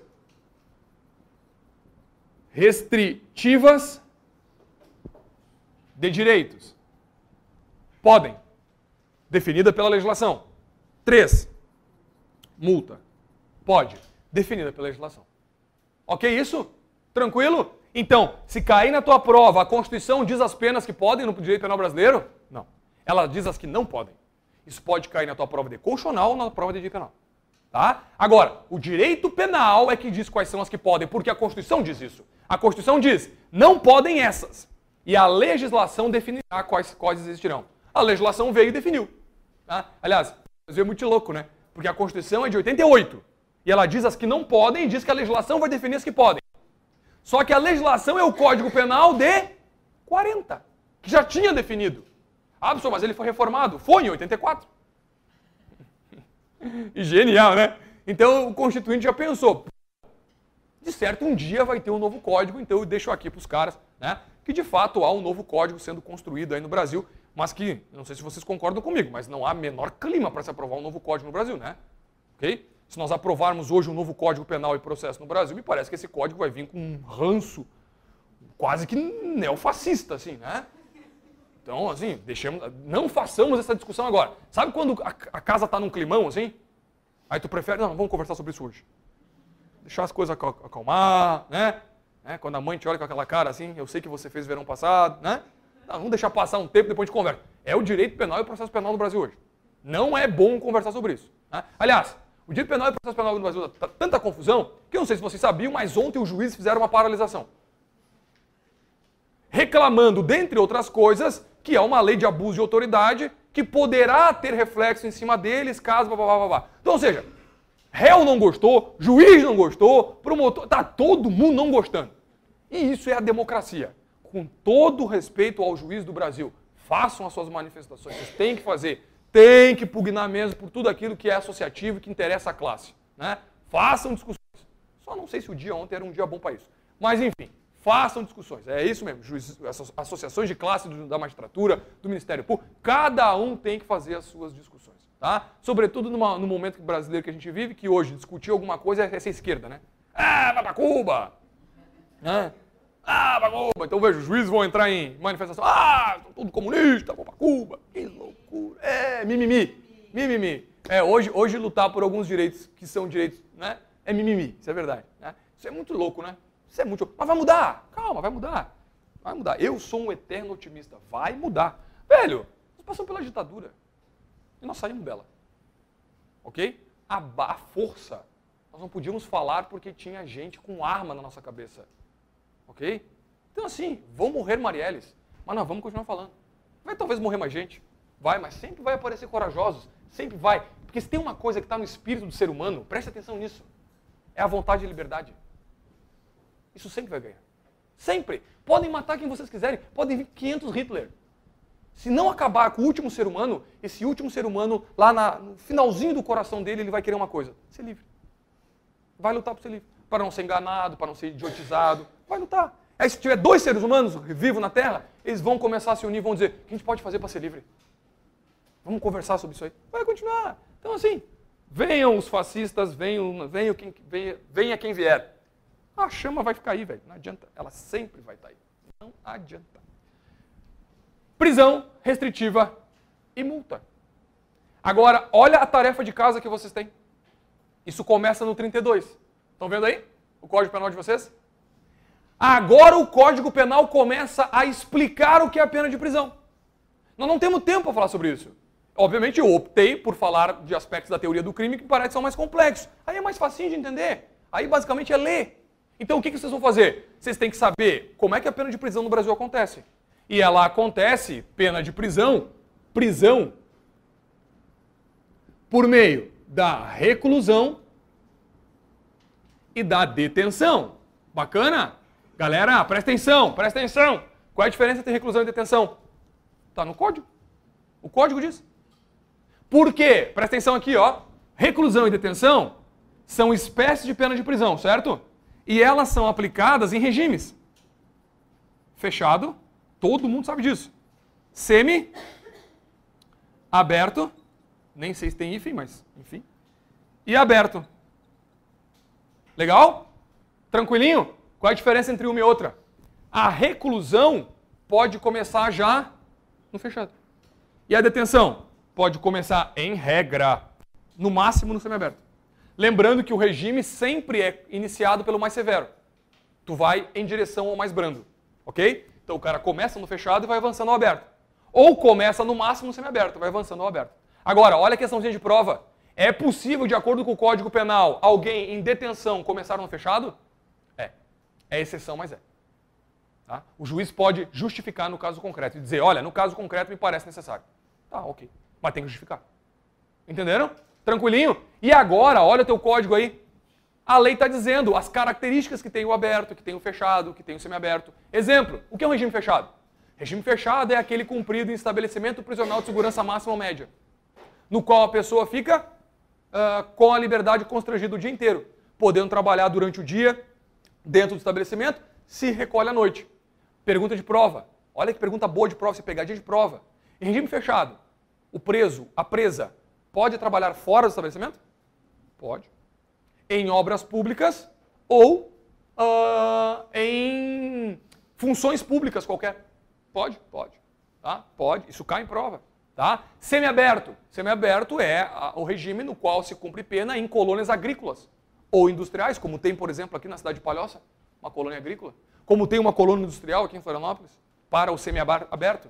Tá? Trabalha durante o dia, se recolhe à noite. Aberto. Bom, o aberto, a pessoa cumpre a pena em albergue. Já ouviu falar nos albergues? Tá? Os albergues. Ok? Então vejam, as características elas vão. Depois, começa as restritivas de direito. Tá? O que são restritivas de direito? E aí eu quero que tu, que tu assinale aí e anote forte uma expressão que é muito importante. Restritivas de direito são penas com caráter substitutivo. Como é que é?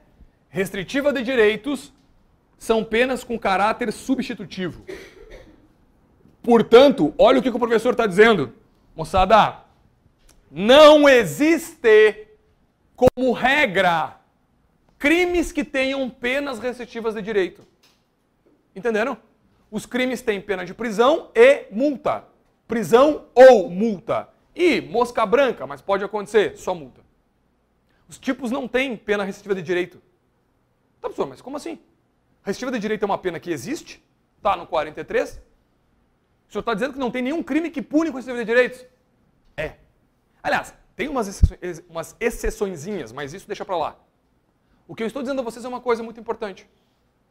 As penas restritivas de direito servem para substituir a pena de prisão. Entenderam? Matamos isso?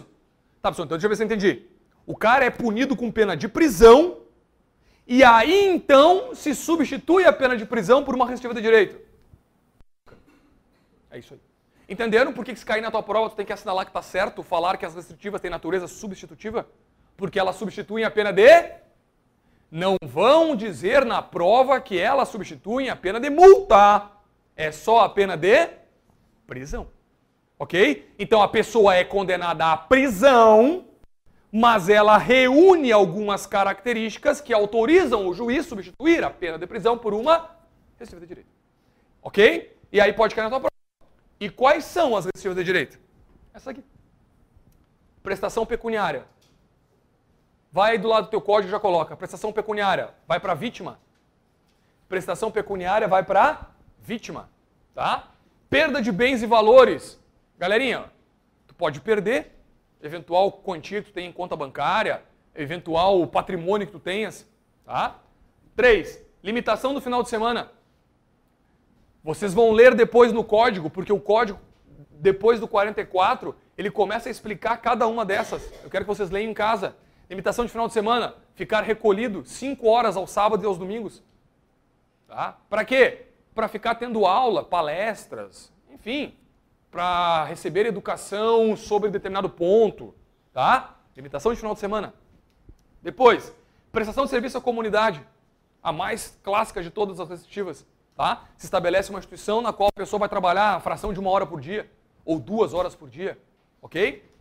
Interdição temporária de direitos. Exemplo, eu sou um político, fui condenado e aí, como pena, me suspendem o direito de eu exercer a determinada função. Tá? Limitação de final de semana. Aliás, já foi essa aqui, né? Hã? É essa aqui. Oi? Ah, tá aí, aí, aí também tem dois. Tá? Então, limitação de final de semana, a gente falava justamente nessa, na restrição do, do, do final, do, de 5 horas, sábado ou domingo. O que, que acontece no código agora? No código acontece que ele começa a definir cada uma delas o que é. Tá? E eu quero que vocês deem uma olhada nisso, ok? Dá uma olhadinha em cada uma delas, o que cada uma delas representa. Tá? Agora, para finalizar esse ponto, a questão é, professor, e o que eu preciso saber para definir se eu posso ou não substituir a pena de prisão por uma restritiva? 44. Então vamos lá. Moçada, presta atenção e vá anotando comigo os requisitos.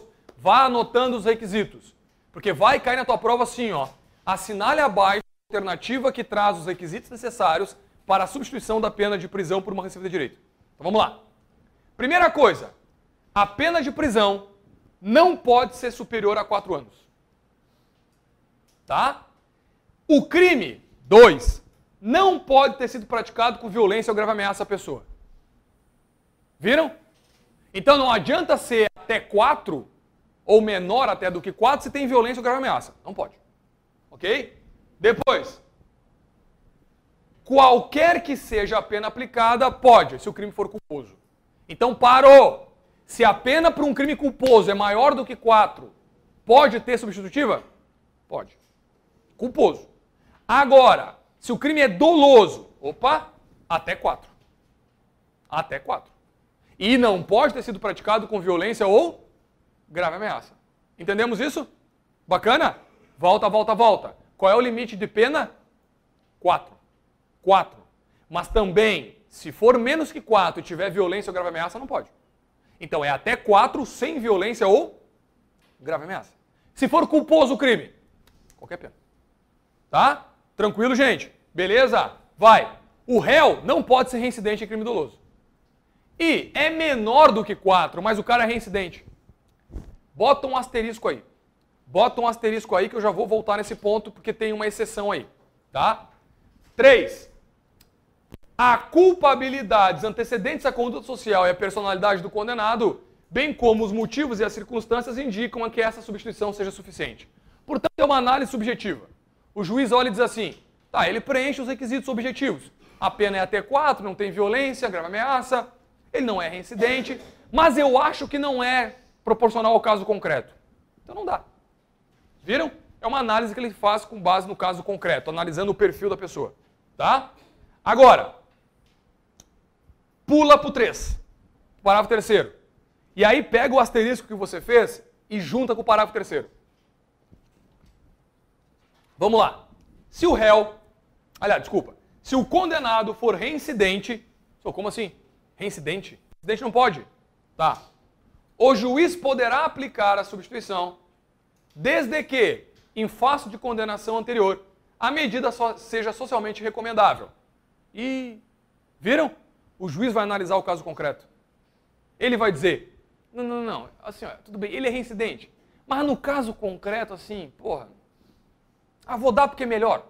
Tá? Fazendo uma análise, o cara está trabalhando, o cara está estudando, ele é reincidente, mas assim, eu vou deixar ele substitutivo. Vou dar um, um trabalho comunitário, tá? Pode. Agora, olha aqui o final. A reincidência não pode ter, sido, ter, ter se operado por conta da prática do mesmo crime. Então, furto e furto não pode. Viram? Agora, imaginemos um caso onde a situação fica mais fácil de entender. O cara foi, pre... foi uh, autuado pela polícia militar, por exemplo, por porte legal de droga para consumo próprio. Foi condenado por esse crime. Tá? Isso é crime no Brasil, né? Vocês sabem disso. É crime. Artigo 28 da lei de drogas. Tá, foi condenado. Tem reincidência por conta disso. Imaginemos que daqui a 10 anos, sei lá, 10 anos não dá, mas imaginemos que depois da condenação, 4 anos depois, aí, sei lá, pratica um estelionato. Não tem violência, não tem grave ameaça. A pena é menor do que 4. Pode o juiz substituir a pena? Se achar que é socialmente recomendável, pode. Viram? Porque o cara é reincidente, mas não é o mesmo crime. Viram o asterisco que eu pedi que vocês colocassem lá em cima? Galera, então olha a questão de prova. Em nenhuma hipótese o réu reincidente poderá ser beneficiado pela restritiva de direito. É falso. Falso. É falso. Tá? Se o juiz achar que é socialmente recomendável, se atender os requisitos objetivos, obviamente, né? E a reincidência não ser por caráter uh, de mesma natureza, aí pode. Tá bem? Cuidado com isso, tá? A pena restritiva de direitos converte-se em pena privativa de liberdade quando ocorrer descumprimento injustificado. Beleza. Ou seja, se o cara não cumprir a substitutiva, cumpre a pena principal. Meio óbvio, né? Meio óbvio, concorda? Então veja, dei uma substitutiva. Exemplo, substitui a pena dele por uma prestação de serviço à comunidade. Ele pegou dois anos de cadeia por um furto. Mas aí substituímos por prestação de serviço. Não está cumprindo a prestação de serviço. Então cumpre a pena principal, né? Então prende e volta. Aliás, volta não, vai para cumprir a pena principal, tá? Legalzinho? Esses são os principais pontos que eu acho importantes dentro do artigo 44, tá? E vamos finalizar. Pena de multa. O que é pena de multa? É a terceira espécie de pena no Brasil. Hum. A multa vai para onde? Para a vítima? Não. A prestação pecuniária que vai para a vítima, lembra como resistiu de direito? A multa para quem? Vai para o Fundo Penitenciário Nacional. Tá? A multa vai para o Fundo Penitenciário Nacional. Tá bem? E como que se, se aplica a multa? Galera, presta atenção aqui, ó. Vou direto no ponto contigo, hein? A multa, presta atenção.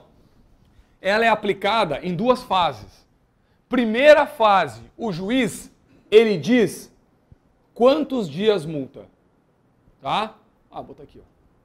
Quantos dias multa? Quantos dias multa? Tá, professor, como assim dias multa? É, isso varia de 10, presta atenção, a 360. Tá, professor, peraí, peraí, peraí. Quer dizer que o juiz condena a pessoa a dias multa? Isso. Isso. De 10 a 360. Então vamos lá. Condeno fulano a 200 dias multa. Viram? Condeno fulano a 15 dias multa, ou seja, no mínimo 10, no máximo 360. Cai na pegadinha da prova de dizer que é 365. Ok? 360 dias multa. Bacana? Tranquilo isso? Tá. Professor, mas peraí. Eu entendi então. 10 dias multa, 40 dias multa. Tá bem. Mas, professor, é 10 ou é 360? Quanto eu dou? Galera, isso vai variar de acordo com a pena que o juiz vai aplicar. Viram? O juiz varia. Ele vai analisar o caso concreto e vai dizer o que é mais proporcional à culpabilidade do agente. Tá? Tranquilo? Tá. Depois, vocês podem fazer uma pergunta. Professor, tá bem, entendi. Mas, quanto vale um dia multa? Quanto vale um dia multa? Aliás, esses dias, esses dias na semana agora, minha mãe olhou para mim e falou assim: meu filho, tu tem Bitcoin? Falei, oi? Bitcoin? Falei, não. Olha, é a moda. Tá todo mundo comprando e investindo em Bitcoin. Por que tu não compra? Falei, mamãe, que diabo é isso? Ah, eu tô lendo aí sobre os Bitcoin, não sei o que. Eu falei, meu Deus do céu. Aí na hora ali, eu peguei o celular e botei quanto vale uma Bitcoin. No dia que eu estava vendo, estava valendo 29 reais. 29 reais. Veja. Entenderam que nós não, não temos a noção do valor de algo que não faz parte do nosso dia a dia? Entenderam isso?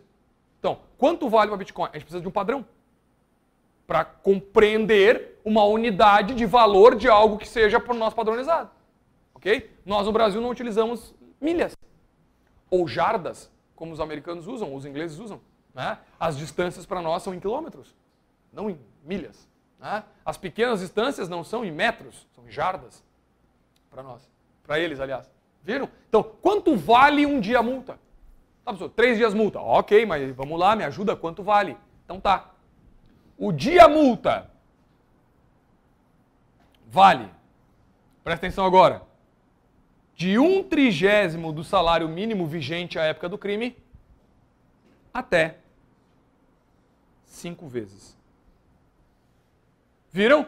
Agora tu já tem referência.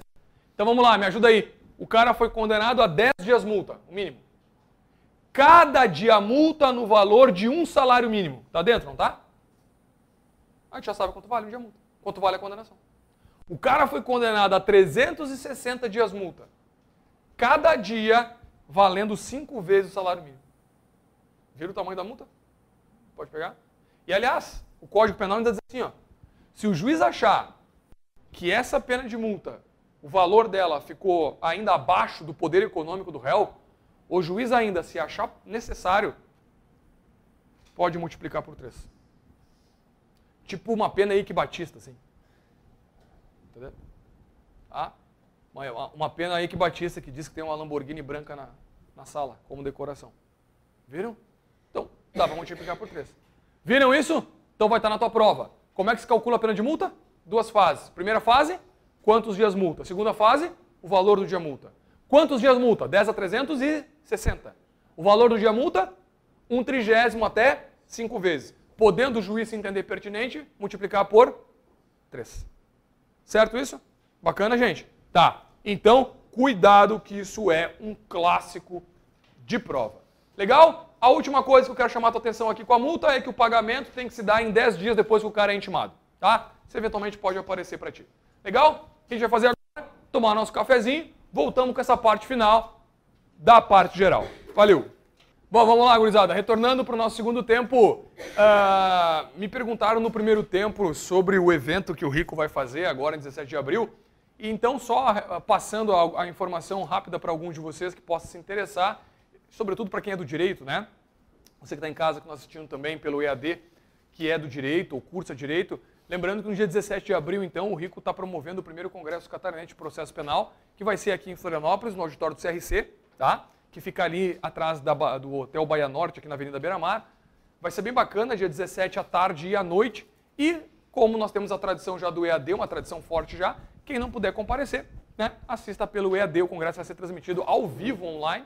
E se você não quiser assistir no dia, porque eventualmente fica sem condição de tempo de assistir, o evento vai ficar para quem fez a inscrição na plataforma, né? E para quem está na graduação em Direito, obviamente precisa daquelas horinhas, né? Todo mundo precisa daquelas horas para validar lá no final do curso. O evento vale 8 horas aula, tá bem? Vai, vai, vão ter palestrantes bem bacanas. Tá? O professor Alceu Pinto, que é o secretário de Segurança Pública, que a gente falava no começo da aula, vai estar conosco também. E alguns professores muito bons de processo penal. E aí vai ser bem bacana, então fica o convite para todos vocês aí que fazem direito ou estão ou já cursaram direito e querem se atualizar em matéria de processo penal. Então vamos lá. Falava com você sobre a pena e agora falta a gente finalizar um tema que é fundamental dentro das penas, que é o método de aplicação da pena. Então presta atenção. Agora eu vou passar com vocês sobre um ponto chamado dosimetria. O que é dosimetria? Gurizada, dosar, dose, ok? Dosar. Dosimetria, então, é o protocolo para definição da dose. Dose do quê? Da pena. Tranquilo? Então, a questão da dosimetria da pena tenta responder a seguinte pergunta: Como eu chego na quantidade de pena de um réu? Como eu chego lá? Certo isso? Então, agora presta atenção vamos direto no ponto. Eu quero que para a prova vocês guardem que o critério de dosimetria da pena no Brasil é trabalhado em três fases. Portanto, o que vai estar na tua prova é o seguinte: o método de fixação da pena de acordo com o Código Penal, é trifásico. Ok? Parou, parou, parou. Quantas fases tem a aplicação da pena de multa? Quantas fases tem a aplicação da pena de multa? Duas. Primeiro definir quantos dias multa e depois definir o valor do dia multa, lembrou? Agora volta. Quantas fases tem a aplicação da pena de prisão? Três. Trifásico. Certo? Tá, professor? Três fases. E que são essas três fases? Tá, vamos lá. Primeira fase, presta atenção. Primeira fase, artigo 59. Ok? São as chamadas, fica ligado nisso aqui, ó. Circunstâncias. Circunstâncias judiciais. Ok? Segunda fase são as agravantes e as atenuantes, ok? Que estão, respectivamente, nos artigos 61 e 62, 65 e 66 do Código Penal. Agravantes e atenuantes. Certo? Terceira fase. são as, presta atenção agora, hein, diferente, circunstâncias especiais de aumento. Aliás, eu ia botar ou, vamos botar aí. De aumento e de diminuição. Tranquilo? Tá, o que significa isso? Onde estão, professor? Não sei te dizer. Elas estão em vários lugares. Tá? Se você der uma olhada no crime de roubo, você vai ver que tem um aumento de pena ali. Se o roubo for praticado com emprego de arma, blá, blá, blá. Então a dica que eu vou te dar é a seguinte: sempre que um aumento ou uma diminuição estiver em forma de fração, em que fase você tem que aplicar? Terceira. Porque isso é uma circunstância especial de aumento ou de diminuição. Entenderam? Certo? Tem fração para aumentar ou diminuir a pena? Então é a terceira fase. Tranquilo? Agora, te perguntaram onde estão as agravantes e atenuantes? Segunda fase. Te perguntaram onde tu analisa as circunstâncias judiciais do réu? Primeira fase. Certo? E assim, né? Isso é um protocolo. Então começa do 1 e vai até o 3. Tá? Tá, professor? Então vamos lá, vamos pegar, por exemplo, aqui um crime de furto. O crime de furto, lá no artigo 155, tem a pena de 1 a 4 anos de reclusão. Tá? 1 a 4 anos de reclusão. E aí? Como é que eu defino a pena? Vamos lá, método trifásico. Vamos começar pela primeira fase, certo? E agora presta atenção que é informação importante. Eu sempre começo na primeira fase levando em consideração a pena mínima em abstrato. A pena mínima em abstrato aqui qual é? Hum? Vocês entenderam por que em abstrato? Porque eu ainda não tenho a pena do caso concreto. A pena eu sei que no mínimo é 1, no máximo é 4. Então a mínima em abstrato é 1. Ok? Então eu pego o 1 e faço a análise no 59. Viram? Aí eu vou ler o 59. Só que se vocês lerem, vocês vão ler em casa o 59, vocês vão ver que o 59 não diz quanto aumenta e quanto diminui. Então isso é algo que fica discricionário ao juiz. Quanto aumenta ou quanto diminui. Deu para entender? Segunda fase. Eu vejo as, as agravantes e atenuantes. Professor, eu preciso saber quais são? Cara, precisa. Precisa saber quais são tá? As agravantes, sobretudo, do 61. Tu precisa saber quais são. Depois, 62. Depois, 65 e 66. Importantes? Importantes. A principal agravante que eu quero que tu dê uma olhada é a agravante da reincidência. Professor, mas o senhor falou que era 61, 62 e agora aqui está 63, está dizendo que é uma agravante. Calma, vá no 61. Tá vendo aí qual é a primeira agravante? Reincidência. Tá? O 63 está só explicando a reincidência. Ele explica o que é reincidência. Tá? Então agora, presta atenção que nós vamos explicar o que é reincidência. Isso é uma questão clássica de provas. Aliás, saber o que é reincidência é uma questão típica de noções de direito penal. Típica, clássica de noções de direito penal. Então vamos lá. Galerinha, presta atenção no que eu vou dizer. Presta muita atenção muita, para não confundir as coisas. Reincidência é a prática de um crime, presta atenção no que eu vou dizer, depois de ter sido condenado por outro. Entenderam? De novo, reincidente é a prática de um crime depois de você ter sido condenado por outro. Você entendeu o que eu disse? Eu não estou dizendo que é depois de ter cometido outro. Entenderam o ponto? Eu estou dizendo que é depois de ter sido condenado por outro. Então preste atenção na linha do tempo. Temos aqui uma linha do tempo. Tá? A linha do tempo está aqui. Então olha só, eu pratiquei um crime. Tranquilo? Toda a fase de inquérito, policial, papapá, acabou. Toda a fase do processo, toda, fui condenado. Aqui. Tá? E aqui imaginemos que eu fui condenado com trânsito em julgado. O que, que significa? Não paira mais possibilidade de discussão jurídica. Embora o Supremo tenha remodelado o conceito do que é o trânsito em julgado. Tá? Ok? Tá. Acabou. Aqui eu fui condenado definitivamente. Certo? Imaginemos agora uma linha do tempo paralela. Eis a vida, né? Várias linhas do tempo passando na tua vida de forma paralela. Ok? É assim. Vai. Imaginemos que eu agora cometa um crime aqui. Viram? Esse crime é posterior à condenação definitiva do crime anterior. Deu para entender? Portanto, posso ser reincidente. Certo? Gorizada, se eu cometer um crime aqui, eu sou reincidente? Aqui eu sou reincidente?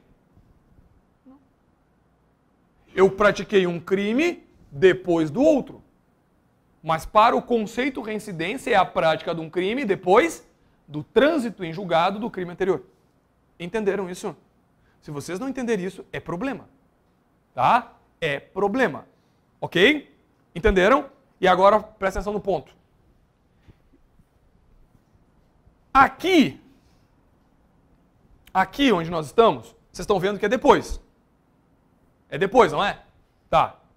A pergunta que agora vem é, professor, mas esse depois pode ser infinito. Concorda? Pode ser aqui, pode ser aqui, pode ser aqui, pode ser aqui, pode ser aqui. 2018 é depois de 1915. É. Bom, o código, pensando nesse limite temporal, ele põe no artigo 64 que, para efeito da reincidência, só se considerarão os cinco anos posteriores, presta atenção agora, ao cumprimento ou, ou a extinção da pena. Entenderam?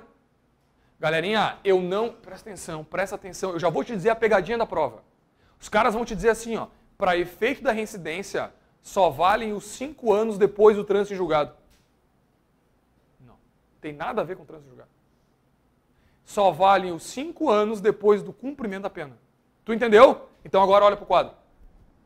Olha aqui. Vamos apagar isso aqui. Imaginemos nós que a pessoa aqui foi condenada, tá vendo? Tá, condenada. Imaginemos nós que ela tenha sido condenada a 10 anos de cadeia. Sei lá, um homicídio. 10 anos. Então começou a cumprir pena. Certo? 10 anos. Acabou cumprindo a pena. Acabou. Ok? A partir daqui, durante 5 anos, ela ainda é reincidente. Entenderam? Então, se você der uma olhada aqui, quanto tempo essa pessoa é reincidente? Quanto tempo ela é reincidente? Vamos lá, pô. Hã? 15, óbvio. Isso. Ela é reincidente durante 15 anos. Viram? Não teria lógica nenhuma o cara estar tá dentro da, do estabelecimento penitenciário cumprindo o pena e não ser mais reincidente. Não teria lógica. Então o que, que a lei diz? É cinco anos do cumprimento da extinção da pena. Viram? Cinco anos. Nesse caso, o agente aqui, no nosso exemplo, será reincidente durante 15 anos. Tá? 15 anos. Entenderam isso? Gurizada, de novo, o que é reincidência? Reincidência é a prática de um crime depois de ter sido condenado definitivamente por crime anterior. Então aqui o trânsito em julgado interessa. Eu preciso ter o trânsito em julgado de uma condenação anterior, depois dele eu sou reincidente. Tá, mas esse depois é infinito? Não. É até no máximo 5 anos do cumprimento ou extinção da pena anterior. Deu para entender? Isso não cai em prova, isso despenca. É assim que vai cair. Tá? E outra coisinha que adora cair em prova. Não se consideram, para efeito da reincidência, os crimes militares próprios e políticos. Entenderam? O que é um crime militar próprio? Crime militar próprio é crime que só existe no Código Penal Militar. Certo? crime militar próprio só existe no Código Penal Militar. Portanto, presta atenção, esses crimes têm como regra, regra, tem exceção, como regra, a proteção da hierarquia militar. Deu para entender? Concorda que não seria justo dizer que essa pessoa é reincidente se ela cometeu um crime que só vale dentro de determinado ambiente? Entenderam isso? Então não se considera reincidência para fora. Tá? Se ela tiver uma condenação, essa condenação não vai bater para efeito criminal. Ok? Comum e crimes políticos. Tá? O que são crimes políticos? Crimes políticos são crimes contra a segurança nacional. O problema é que esses crimes, em determinados segmentos, eles têm uma questão política de determinado momento cultural. Exemplo clássico: as pessoas que lutaram contra a ditadura militar foram presas por crimes políticos. Ok? Porque na época se entendia que essas pessoas estavam contra o Estado. Essas pessoas põem em risco a moral de Estado que se tinha naquela época. Entenderam? Então veja, tanto é que essas pessoas, muitas delas já foram até anistiadas, né? Muitas foram até anistiadas já. Né? Pela comissão da verdade, lembra aquele rolo todo que teve? Tá, o fato é, essas pessoas, ainda que não tenham sido anistiadas, elas não têm efeito de reincidência. Tá? Cuidado com isso. Essas duas questões caem demais em prova. E aí volta agora e eu vou finalizar contigo. A reincidência é o quê? Uma agravante. Ok? Mas ela só gera efeitos nessas circunstâncias que acabamos de ler. Tá? Tranquilo? Isso cai demais em prova. Bacaninha? Vamos para frente. Agora, deixa eu abordar contigo três pontos aqui que são importantes. Tá? Ainda com relação às penas. Dizem respeito a uma matéria importante, que é a matéria do concurso de crimes. Galera, o que é concurso? Concurso é quando várias circunstâncias concorrem, estão juntas. Vimos concurso de pessoas aqui, tá? Agora eu trago a vocês o concurso de crimes. O que é concurso de crimes? Concurso de crimes é quando eu tenho um agente ou mais cometendo dois ou mais crimes. Portanto, presta atenção. Concurso de crimes nada mais é do que uma pluralidade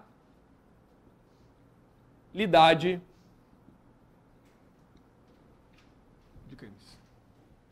Viram? Moçadinha, uma pessoa pode praticar 2, 3, 4, 5, 6, 20 crimes? Pode. Uma pluralidade de pessoas podem praticar 3, 4, 5, 10, 15, 20 crimes?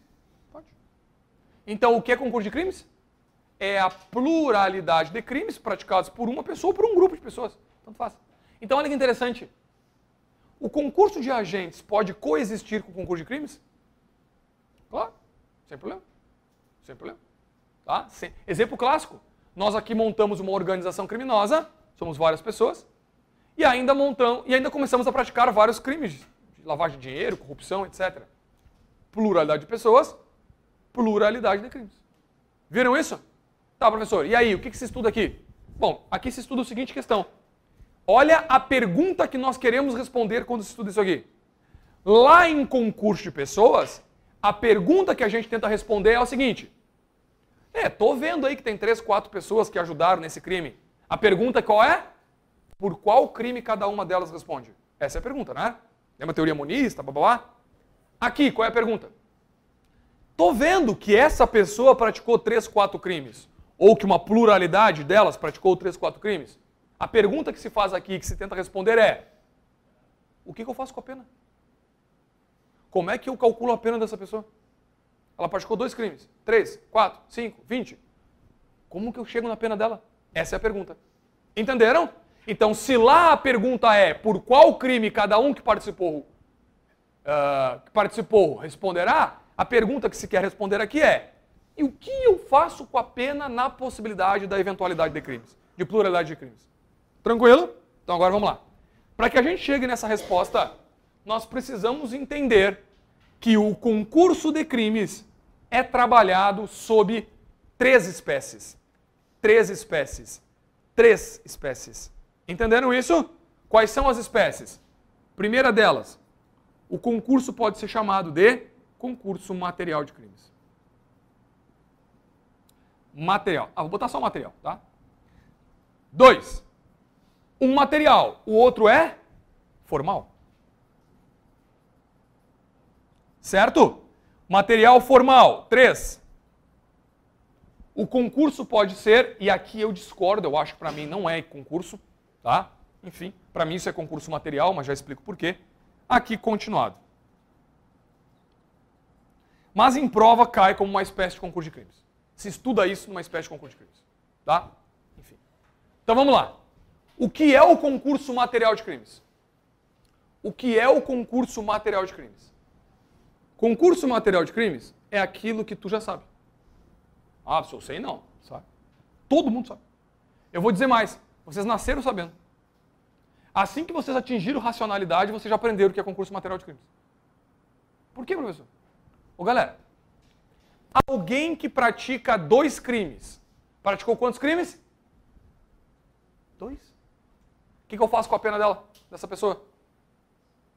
aplica as penas para ela, professor, são dois crimes. E aí ela vai cumprir as penas dos crimes, dos dois crimes. Então, ela matou uma pessoa, ok, matou outra, tá bem? Aplica a pena desse crime, aplica a pena desse crime, acabou? E manda cumprir as duas penas, que obviamente vão ser somadas, né? Tá? Então a pessoa pegou 10 anos para cada crime. Bem-vindo ao mundo real, 20 anos. Entenderam? Isso é concurso material de crimes. Presta atenção agora no ponto que vocês talvez não tenham se, atentado. No concurso material, há pluralidade de condutas e uma pluralidade de respostas criminosas. Entenderam? Portanto, o que, que a lei diz? Aplica a pena de cada um e soma. Entenderam? Entenderam, gente?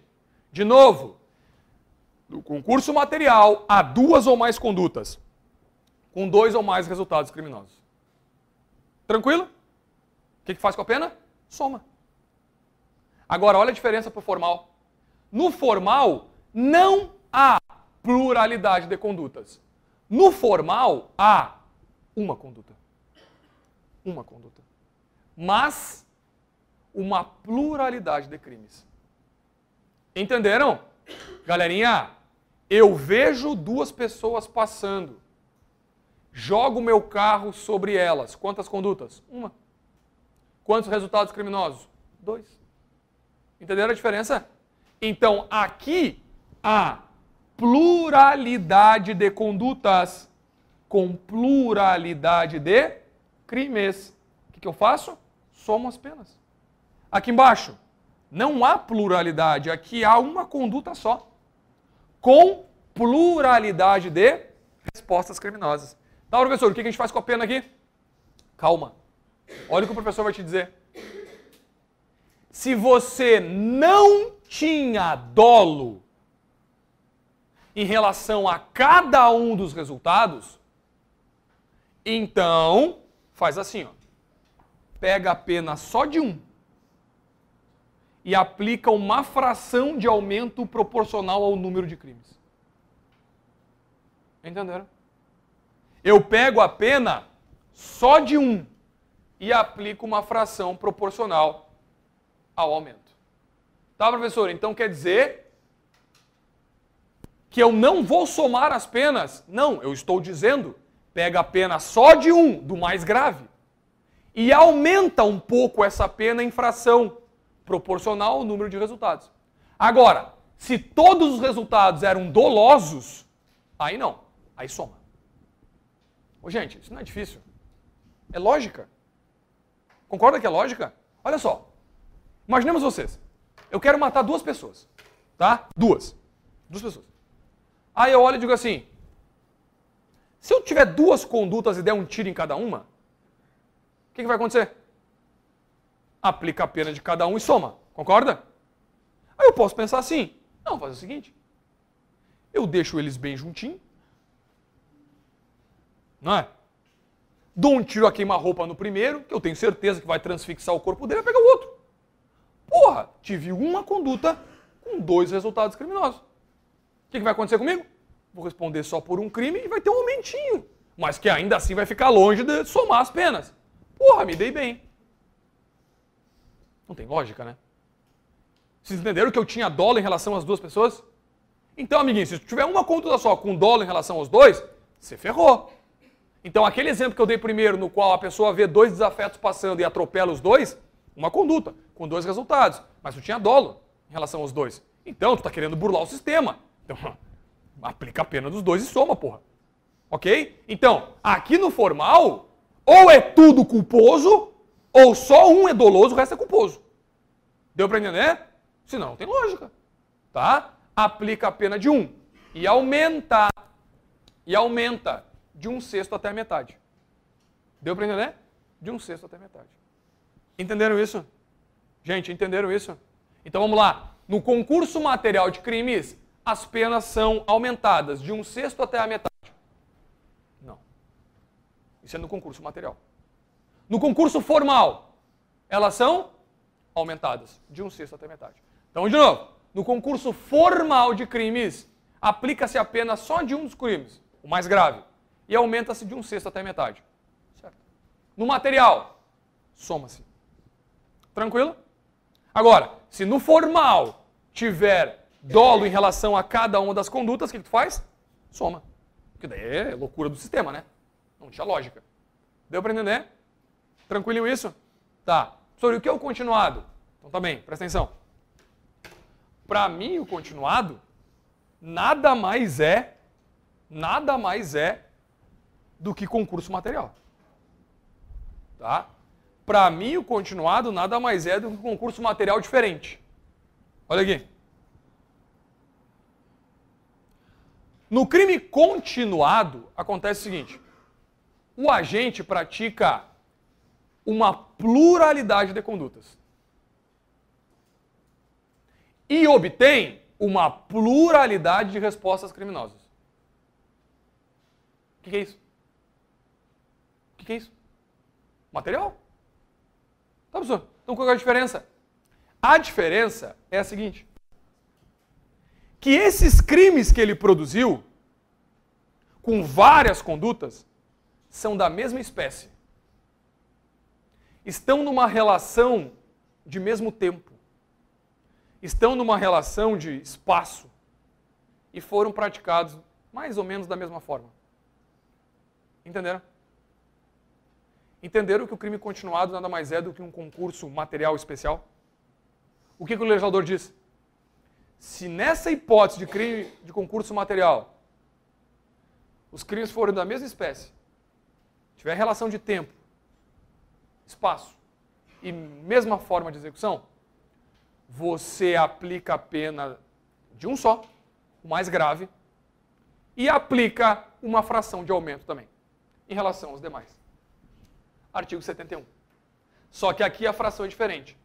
Quando o agente, mediante mais de uma ação ou omissão, duas ou mais condutas, pratica dois ou mais crimes da mesma espécie e pelas condições de tempo, lugar e modo de execução e outras semelhantes, devem os subsequentes ser havidos como continuação do primeiro, aplicando-se apenas só de um dos crimes, o mais grave.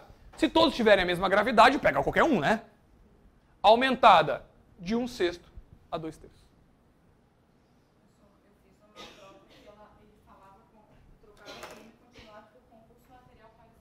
Uhum. Tá? Cuidado com isso. Por isso eu estou dizendo, é um concurso material mas é um concurso material especial. Tá? É um concurso material especial. Viram? Então, não adianta sair assinalando na prova assim, pluralidade de crimes, pluralidade de condutas, concurso material. Não. Se esses crimes forem da mesma espécie, tiver uma relação de tempo, modo de execução e lugar, eles são um crime continuado. Portanto, o segundo, terceiro, quarto, quinto, sexto são continuação do primeiro. Aplica apenas só de um deles, o mais grave, e exaspera de um sexto a dois terços. Viram isso? Tá?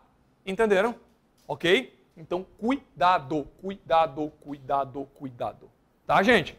Fique esperto, depois tu vai dar uma lida em casa nos artigos, mas o grosso da ideia você já entendeu. Legal?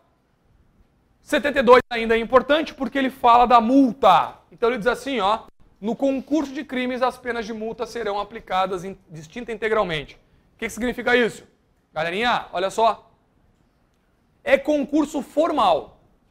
O que, que tu faz mesmo no concurso formal? Aplica a pena só de um e exaspera.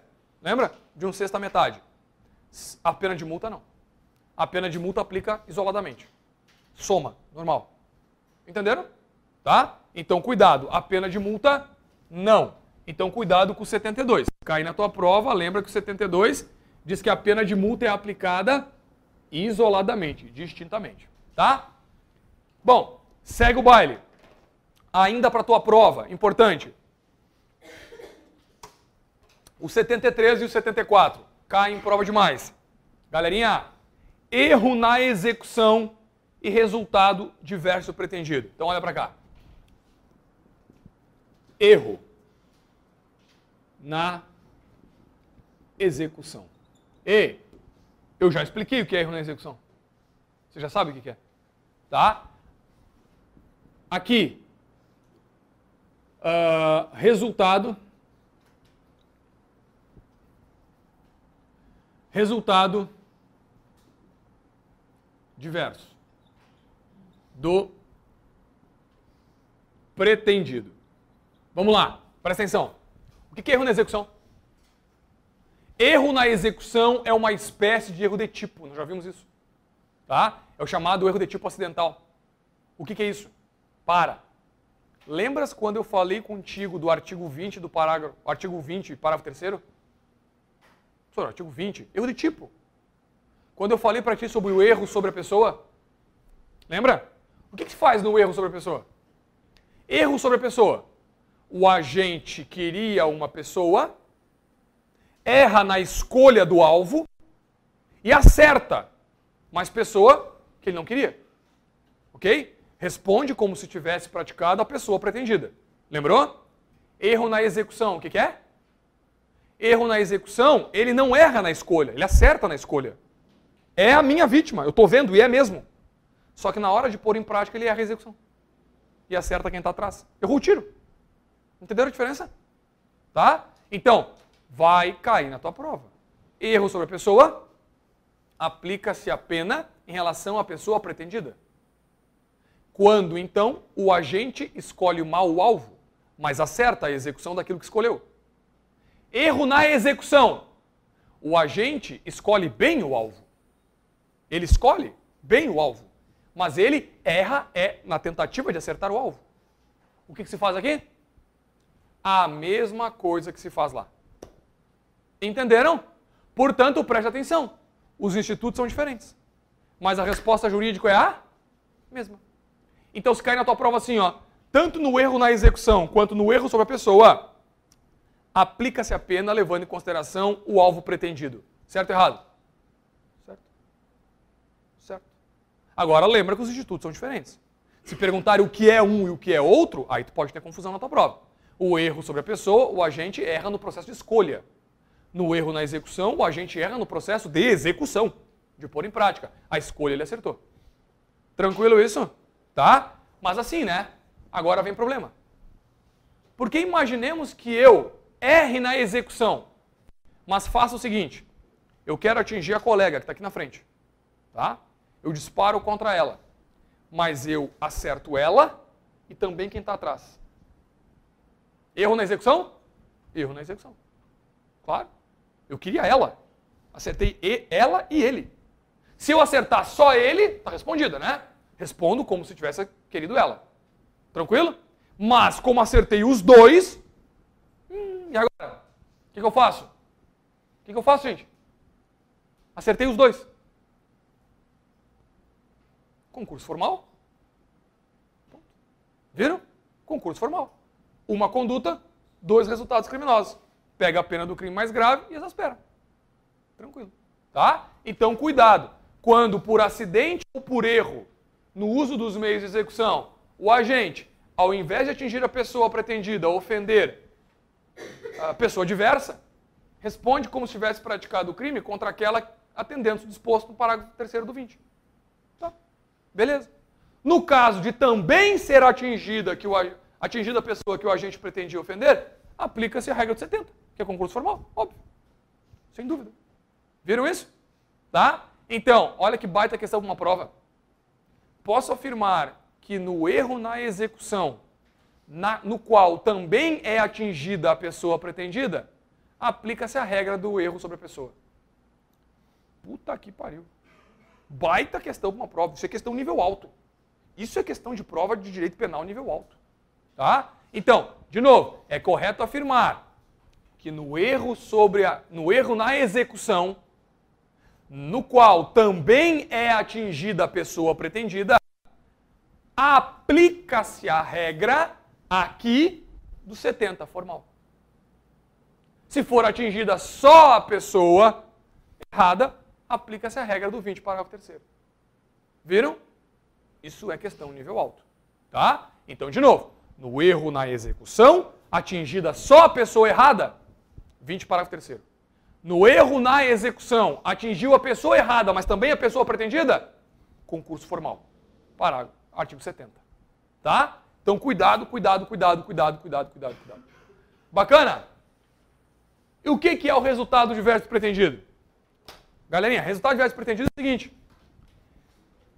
O erro na execução, ele funciona só, presta atenção no professor, para uma relação pessoa a pessoa. Entenderam? Tá escrito aí, pô. Lê o artigo 70 aí. Tá vendo aí? Tá escrito? Aliás, 71. Pessoa. A, a pessoa, o agente atinge pessoa. Diferente. Tá? Então, aqui não se trata de erros em relação a pessoas. Então, olha só.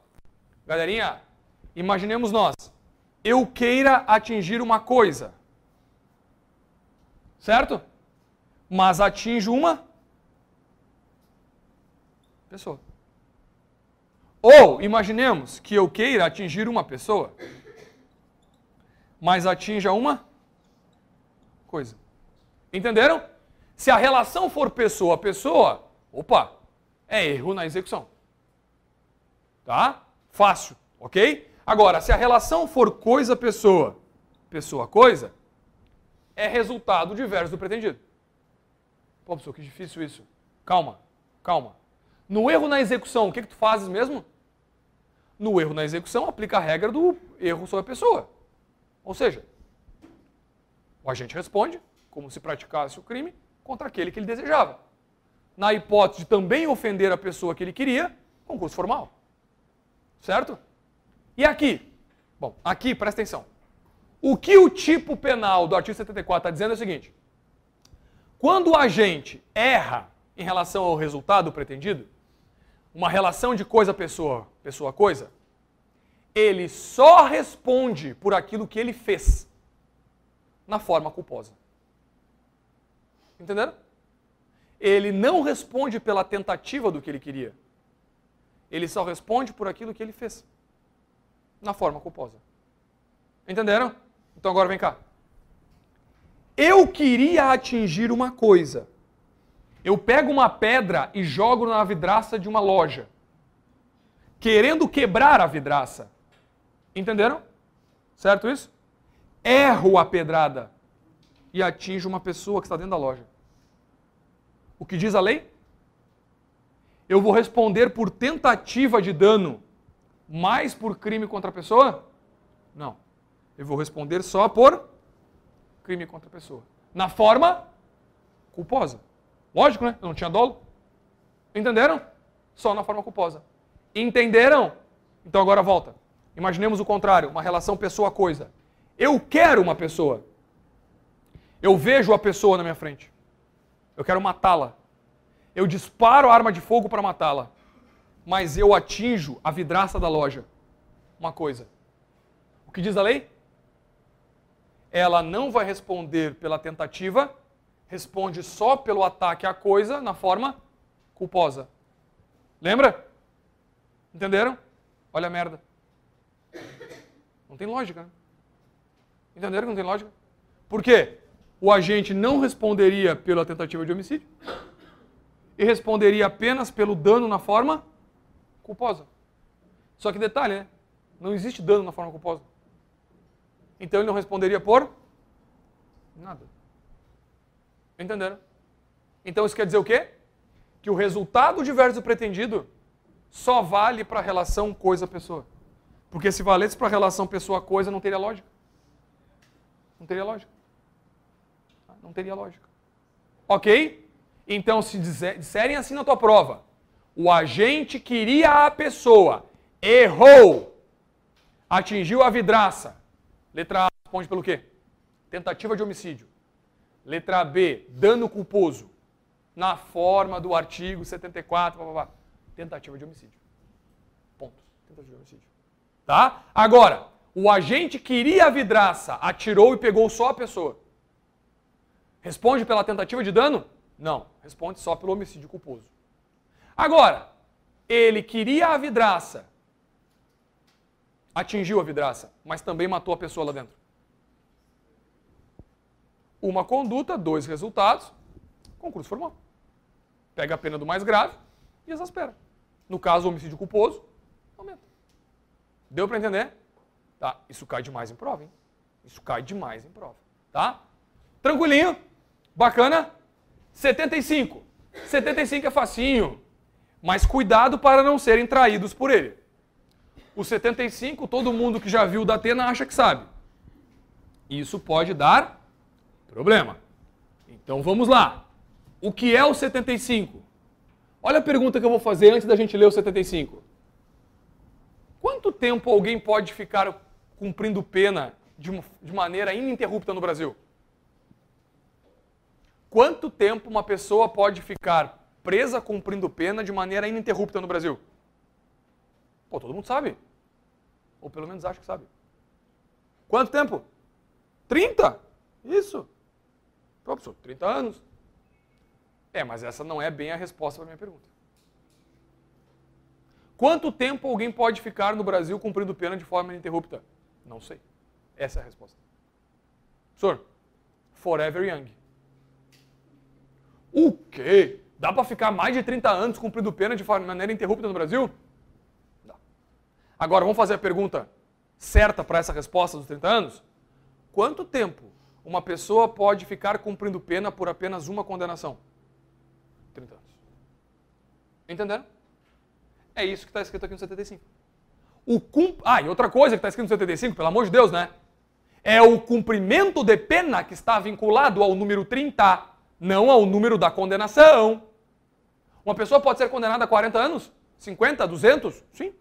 Mas ela, por conta daquela condenação, só vai cumprir 30. Entenderam a diferença? Bacaninha? Tá. Então, se cair na tua prova, para ser 30 anos a resposta, qual é a pergunta? quanto tempo a pessoa pode cumprir pena por conta de uma única pena. Tá? Ou, agora começa a melhorar a coisa, por conta de uma única unificação. Como assim, professor? Vamos lá. Vem cá. Eu fui condenado a 40 anos. Quanto vou cumprir? 30. Legal? Fui condenado a 20 mais 25. Ih, rapaz. 20 mais 25. Bateu lá na mesa do juiz da execução penal. O que, que ele faz? Duas condenações por crimes absolutamente diferentes, não tem nada a ver. Ele soma. 45. O que, que ele faz? Despreza o excedente a 30. E eu vou cumprir só 30. Quando isso acontece, a gente chama de unificação. Entenderam? O que é unificação? Unificação das penas é tu pegar todas as condenações de uma pessoa, somar e jogar fora o que excedeu a 30, para que ela cumpra só 30. Entenderam isso? Pegou? Certo? Agora, olha só, presta atenção. Se depois que eu estou cumprindo pena, então vamos lá, eu peguei 45, tá vendo aqui? O juiz unificou e disse: não, só cumpre 30. Porque 30 é o cumprimento de pena. Tá, 30. Eu já cumpri 10. Então, menos 10. Ao que tudo indica, 20 faltam. Ok? Tô lá na cadeia. Não gosto do meu colega de cela. Já avisei. Não me escutam. Vou ter que resolver. Matei. Matei. Peguei mais 15 por homicídio qualificado. Matei enquanto ele dormia. 15 anos, homicídio qualificado. Matei meu colega de cela. Tá? Ou pratiquei um tráfico de drogas dentro da cadeia. Ponto. Quanto eu já cumpri? 10. Faltam quanto? 20. O juiz da execução penal vai pegar isso aqui. Ô, oh, Marcelo, filha da puta. Dois homicídios, 45 anos de condenação, unificamos para dar 30, já cumpriu 10, tem que puxar mais 20, mas matou de novo dentro da cadeia, pegou mais 15. O que, que o juiz faz? Ele pega os 20 que faltam, soma os 15 que eu, que eu ganhei agora. Isso, segundo o André, dá 35. Vocês, você tem aula de matemática? Tá, mas dá 35. Ok? Isso aí. Dá 35. E aí, pode 35? Não. Joga fora 5. Fica 30. Quanto tempo esse cara vai ficar preso?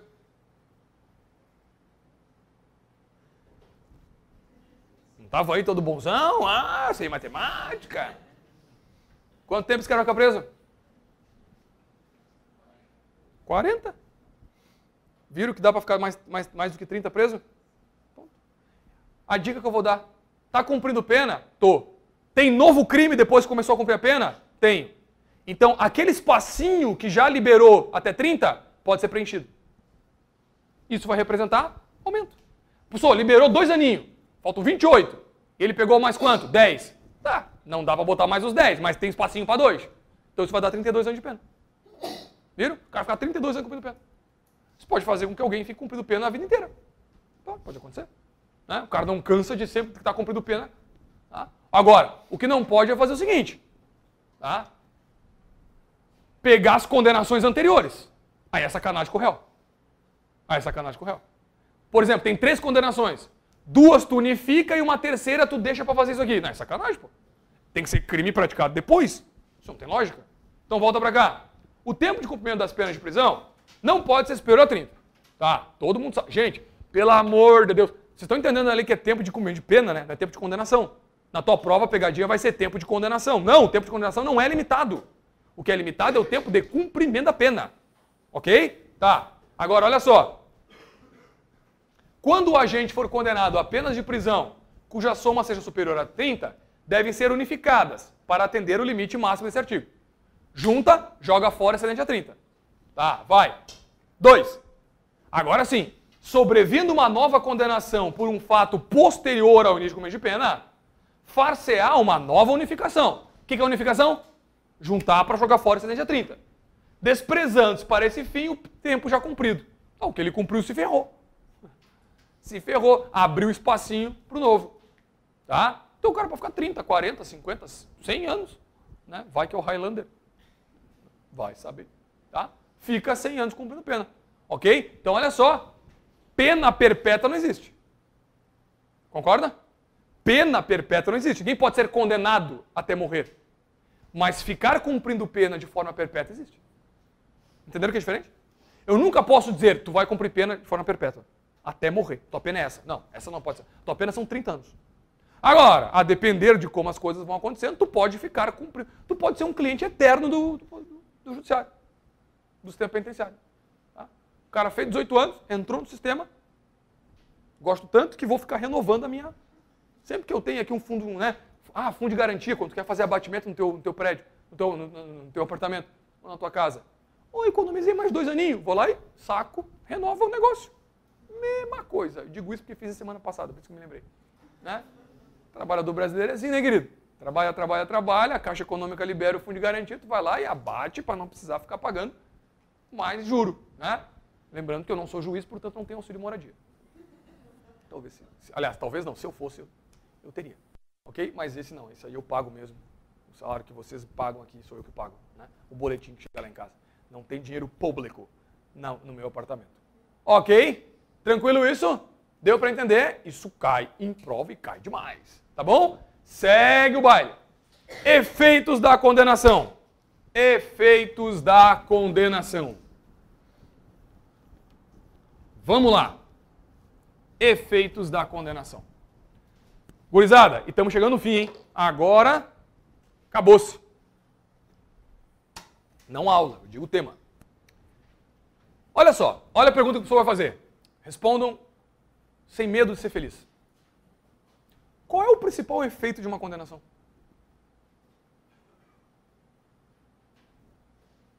Estou com medo? Qual o principal efeito de uma condenação? Você que está em casa, pode falar.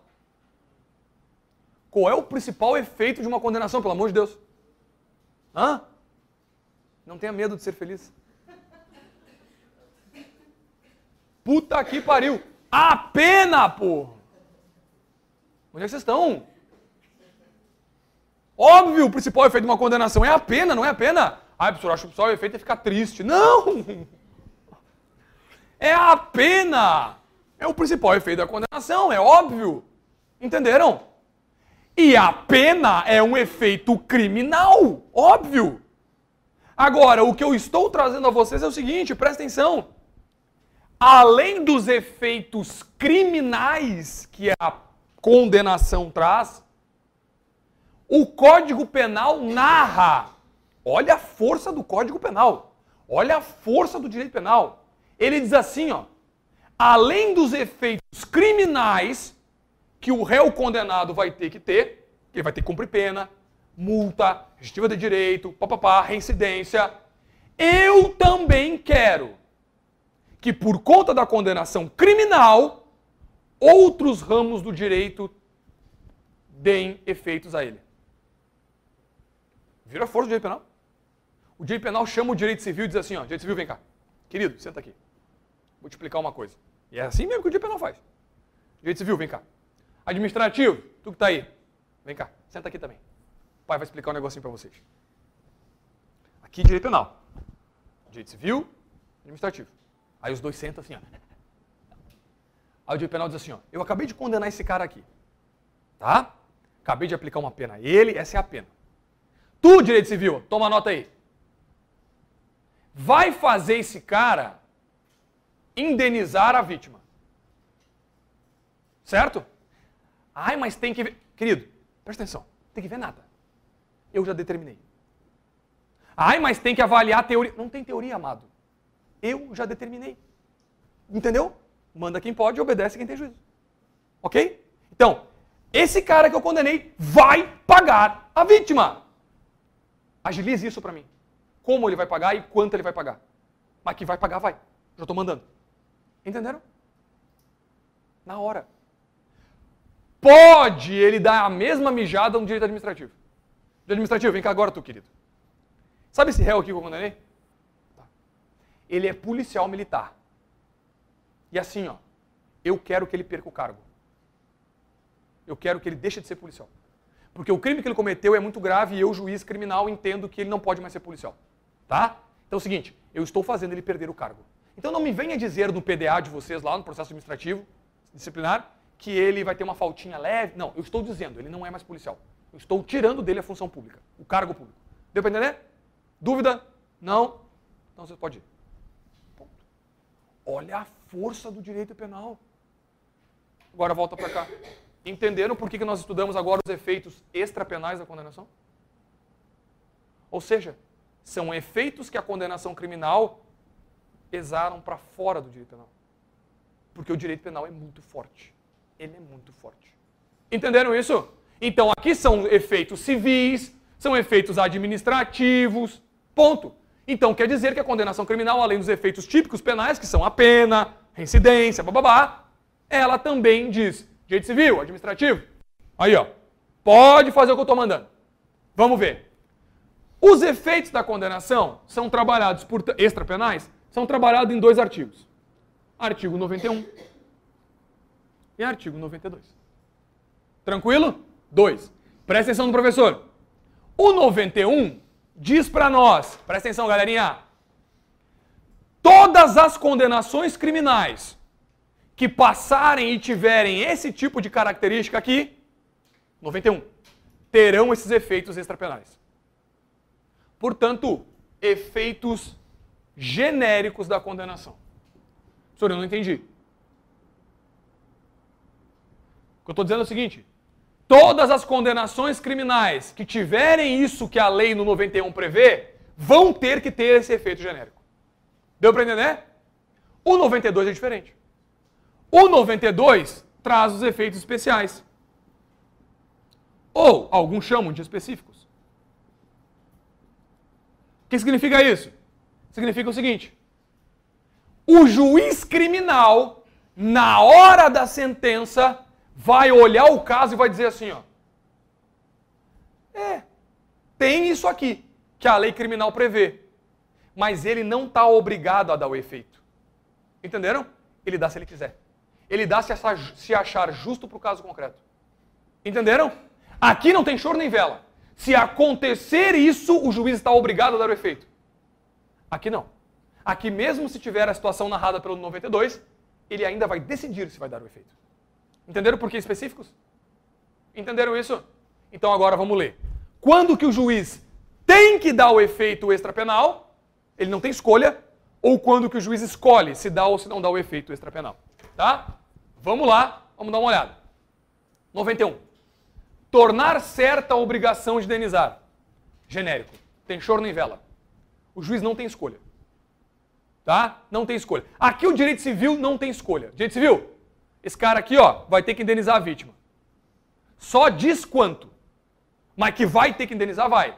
Galerinha, vocês estão entendendo que numa ação civil de reparação de dano por conta de um crime, não cabe a discussão sobre se deve ou se não deve? Ah, mas veja bem, aqui tem a teoria que diz que eu não tenho responsabilidade civil. Querido, nós não estamos discutindo se deve ou se não deve, só estamos discutindo o quanto deve. Se vai ser 10 mil, 100 mil, essa é a discussão. Agora, que deve, deve. Aliás, em latim a gente diz, né? O andebeatum, ou o quanto debeatum. O andebeatum, se deve ou se não deve? Deve. A discussão é sobre o quantum debeatum. Quanto deve?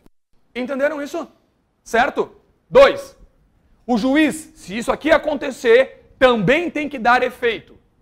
O juiz tem que declarar perdido em favor da união, ressalvado o direito de lesado ou de terceiro de boa-fé. Presta atenção. Os instrumentos do crime, desde que consistam, desde que uh, consistam em coisas cuja fabricação, fabrico, alienação, uso, porte de atenção, um fato ilícito. Então vamos lá. Eu fui condenado por um crime de homicídio. Ok? Eu tenho uma arma de fogo que eu usei para o crime. É instrumento do crime? É. O juiz não tem escolha. Na hora que ele me condenar, ele já decreta um efeito extrapenal. Essa arma está perdida. Em favor da união. Por quê? Porque o senhor não tem porte dessa arma. Entenderam? Agora, eu pratiquei um crime de roubo. Um carro. Foi instrumento para o crime? Foi. Ter um carro é crime? Portanto, esse bem não será perdido em favor da União. Tá? Não será perdido em favor da União. Deu para entender? É coisas cujo fabrico, alienação, uso, porte de atenção constitua fato ilícito. Viram? Certo isso? Agora, presta atenção, galerinha. E se eu utilizei a arma de alguém para praticar um crime? E essa pessoa tem o porte? O juiz vai declarar perdido em favor da União a arma?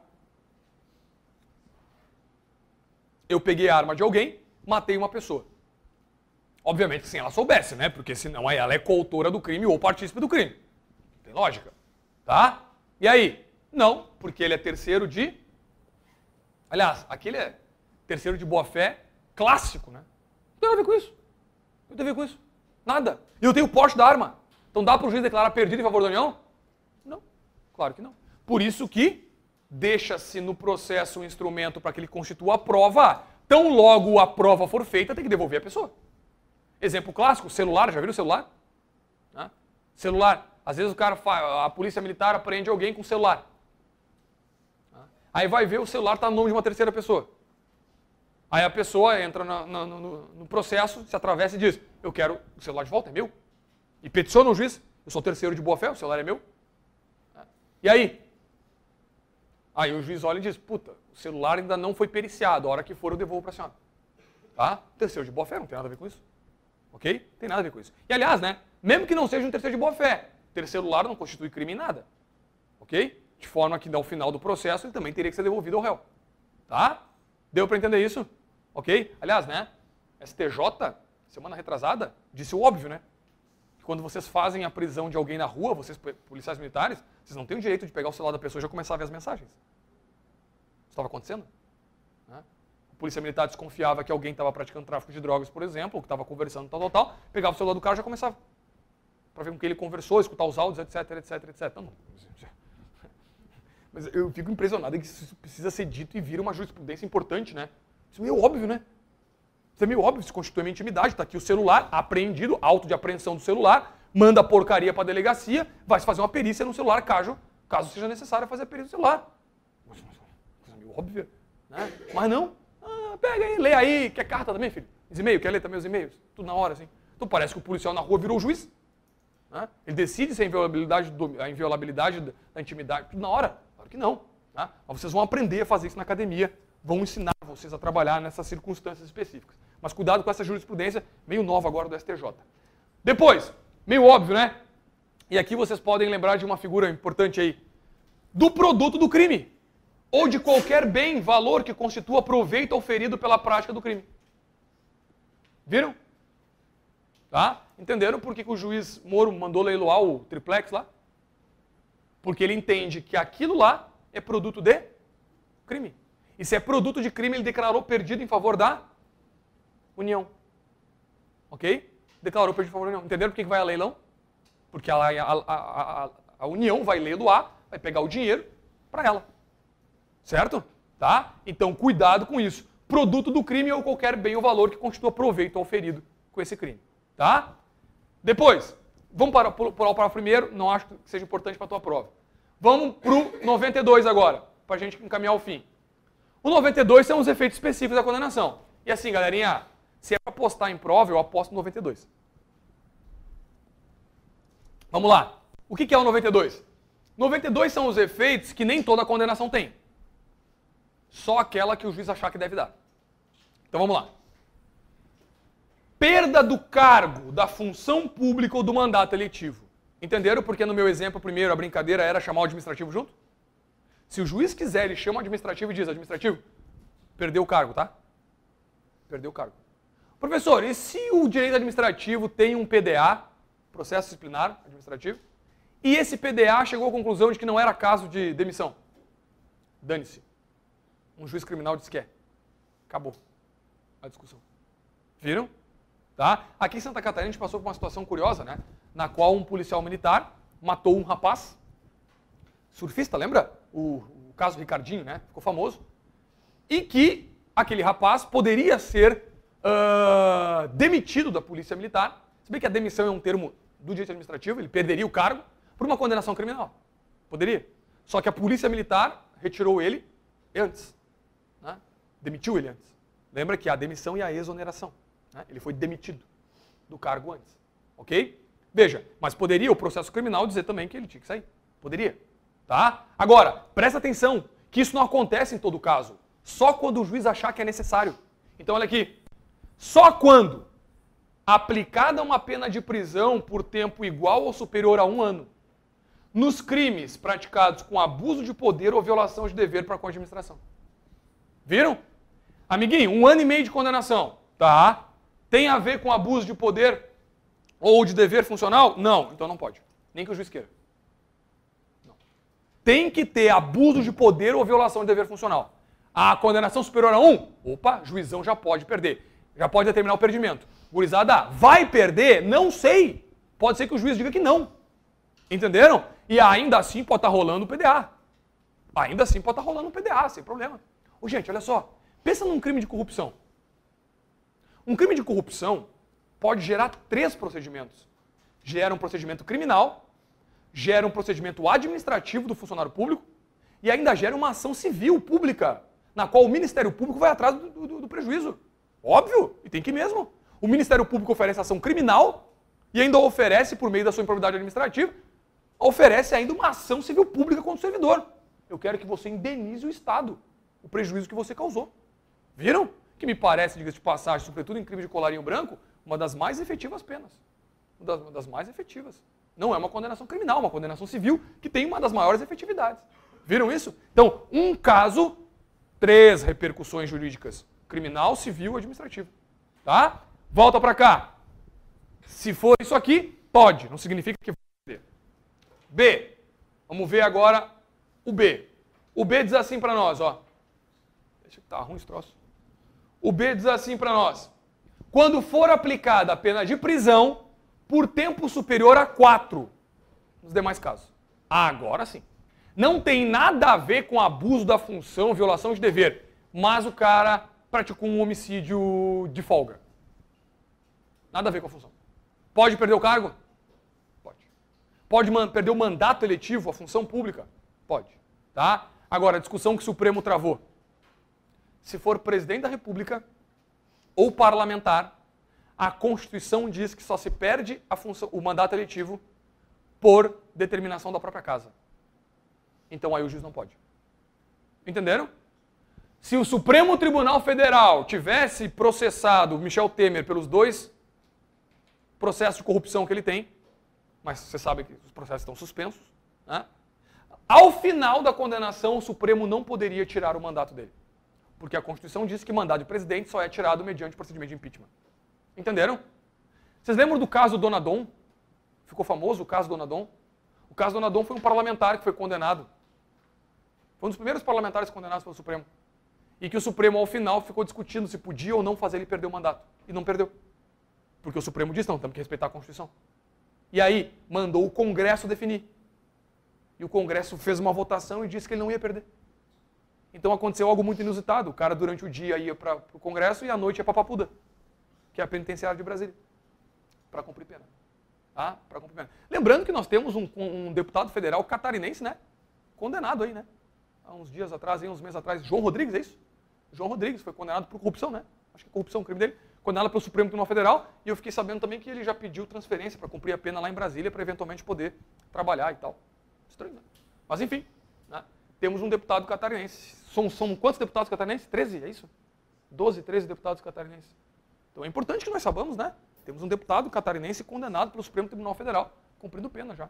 Tá? Acho que ele é do Oeste, se não me falha a memória, é do Oeste, de Santa Catarina. De onde? Pinhalzinho. É isso aí. É, é, é, é o Oeste, né? É o Oeste. Ok? Depois, quem se interessar, vá atrás, né? Sobretudo que tem eleições aí, para saber direitinho qual é a condenação dele, o que, que é. Tá? Mas vamos lá. Depois, incapacidade para o exercício do pátrio poder, tutela ou curatela nos crimes dolosos.